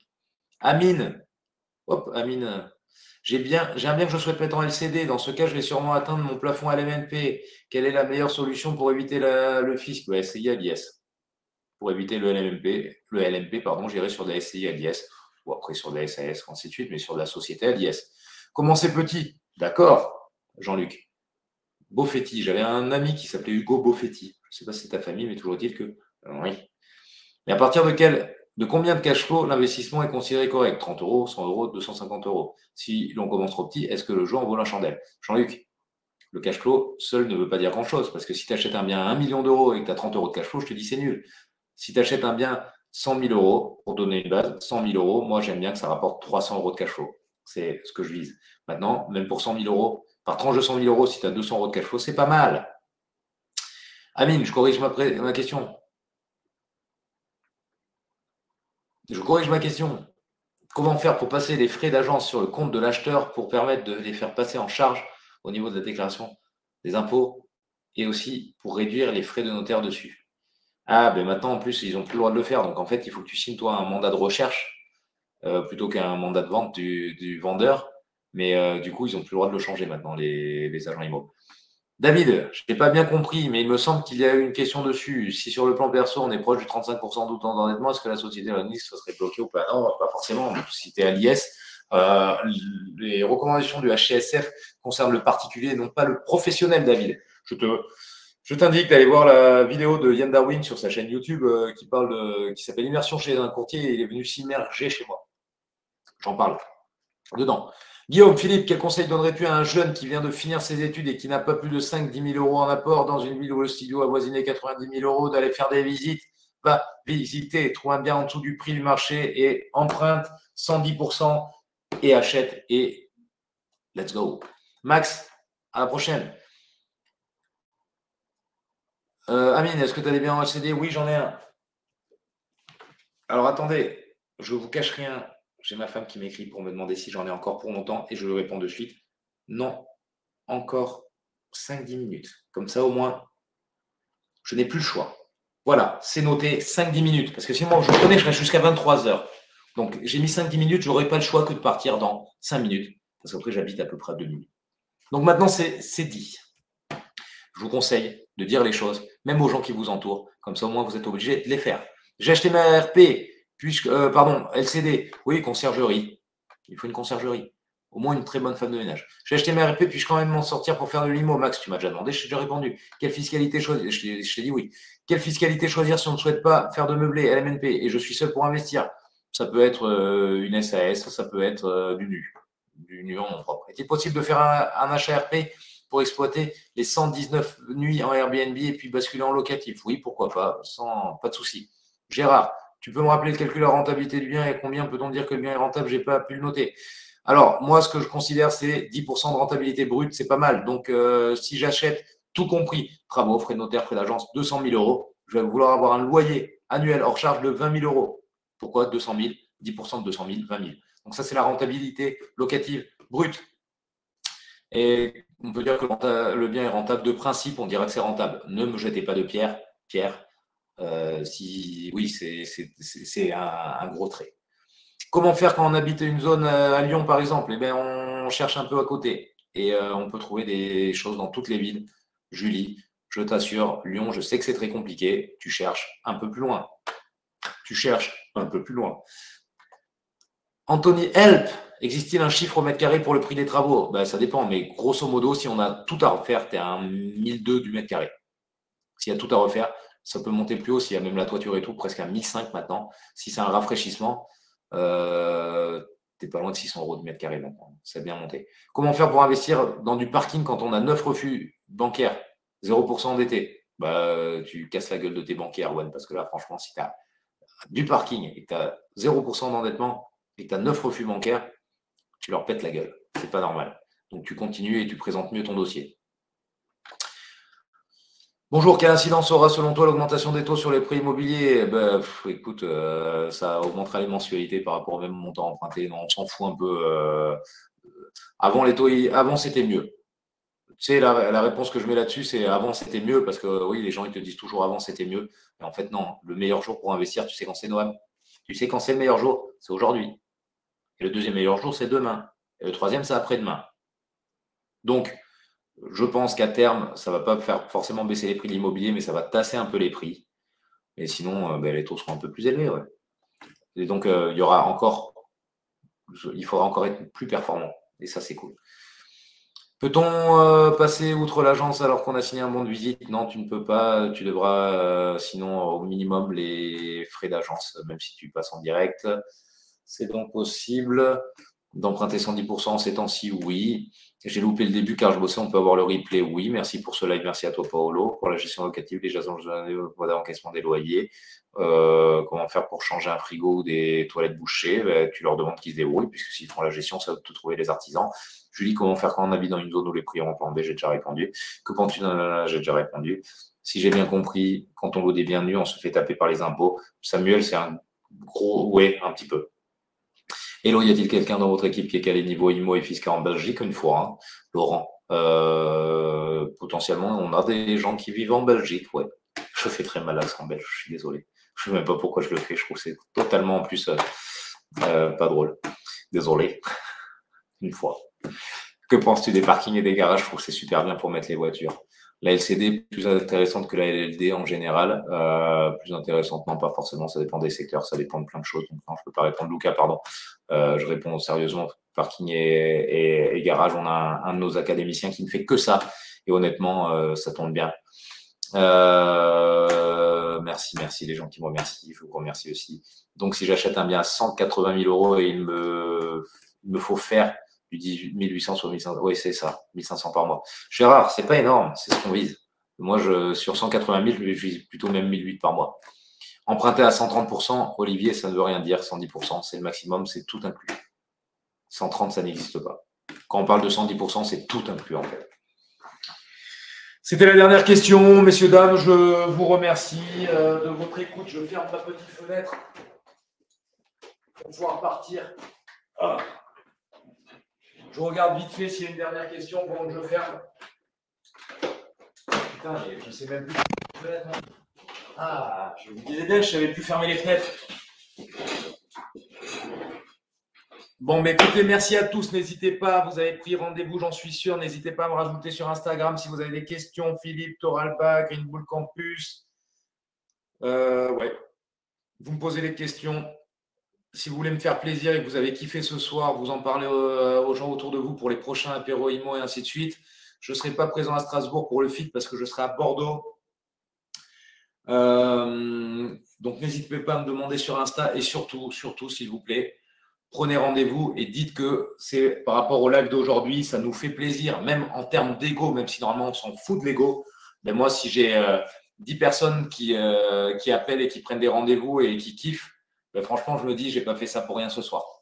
Qui euh, remontent au moins et qui me disent qu'ils ont kiffé. Merci Lina de me le dire. Merci euh, Stéphanie, merci Guillaume, merci à tous. C'est cool de me remonter ça. Ça me fait plaisir. Ça m'émeut. Ça m'émeut presque. Donc je vais vous laisser encore quelques petites secondes, minutes, euh, dixièmes de seconde. J'ai faim. J'ai faim. Laissez-moi partir. J'ai faim. J'ai faim. J'ai faim. J'ai faim.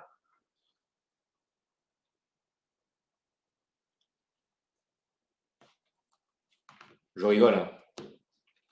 Pierre, merci à toi aussi. Merci à toi, Patrick. Merci, Manu, Emmanuel. Merci, Rémi. Je pense qu'on a fait le tour de la question. Les gens se déconnectent petit à petit. Il reste une centaine de personnes. Je vous remercie. Vous êtes les meilleurs. Vous êtes the best of the best. Vous êtes restés jusqu'au bout. Ou alors, c'est parce que vous êtes endormis. Et là, vous êtes des crevards quand même parce que je me suis donné, tu vois. Donc, euh, si vous êtes endormi, vous n'êtes pas cool. Mais sinon, les sangs, la dernière, vous êtes euh, le sang de la veine. Quoi. Allez, merci à tous. Euh, franchement, c'était cool. Je vous souhaite une bonne soirée. Je vous dis à bientôt. Ciao.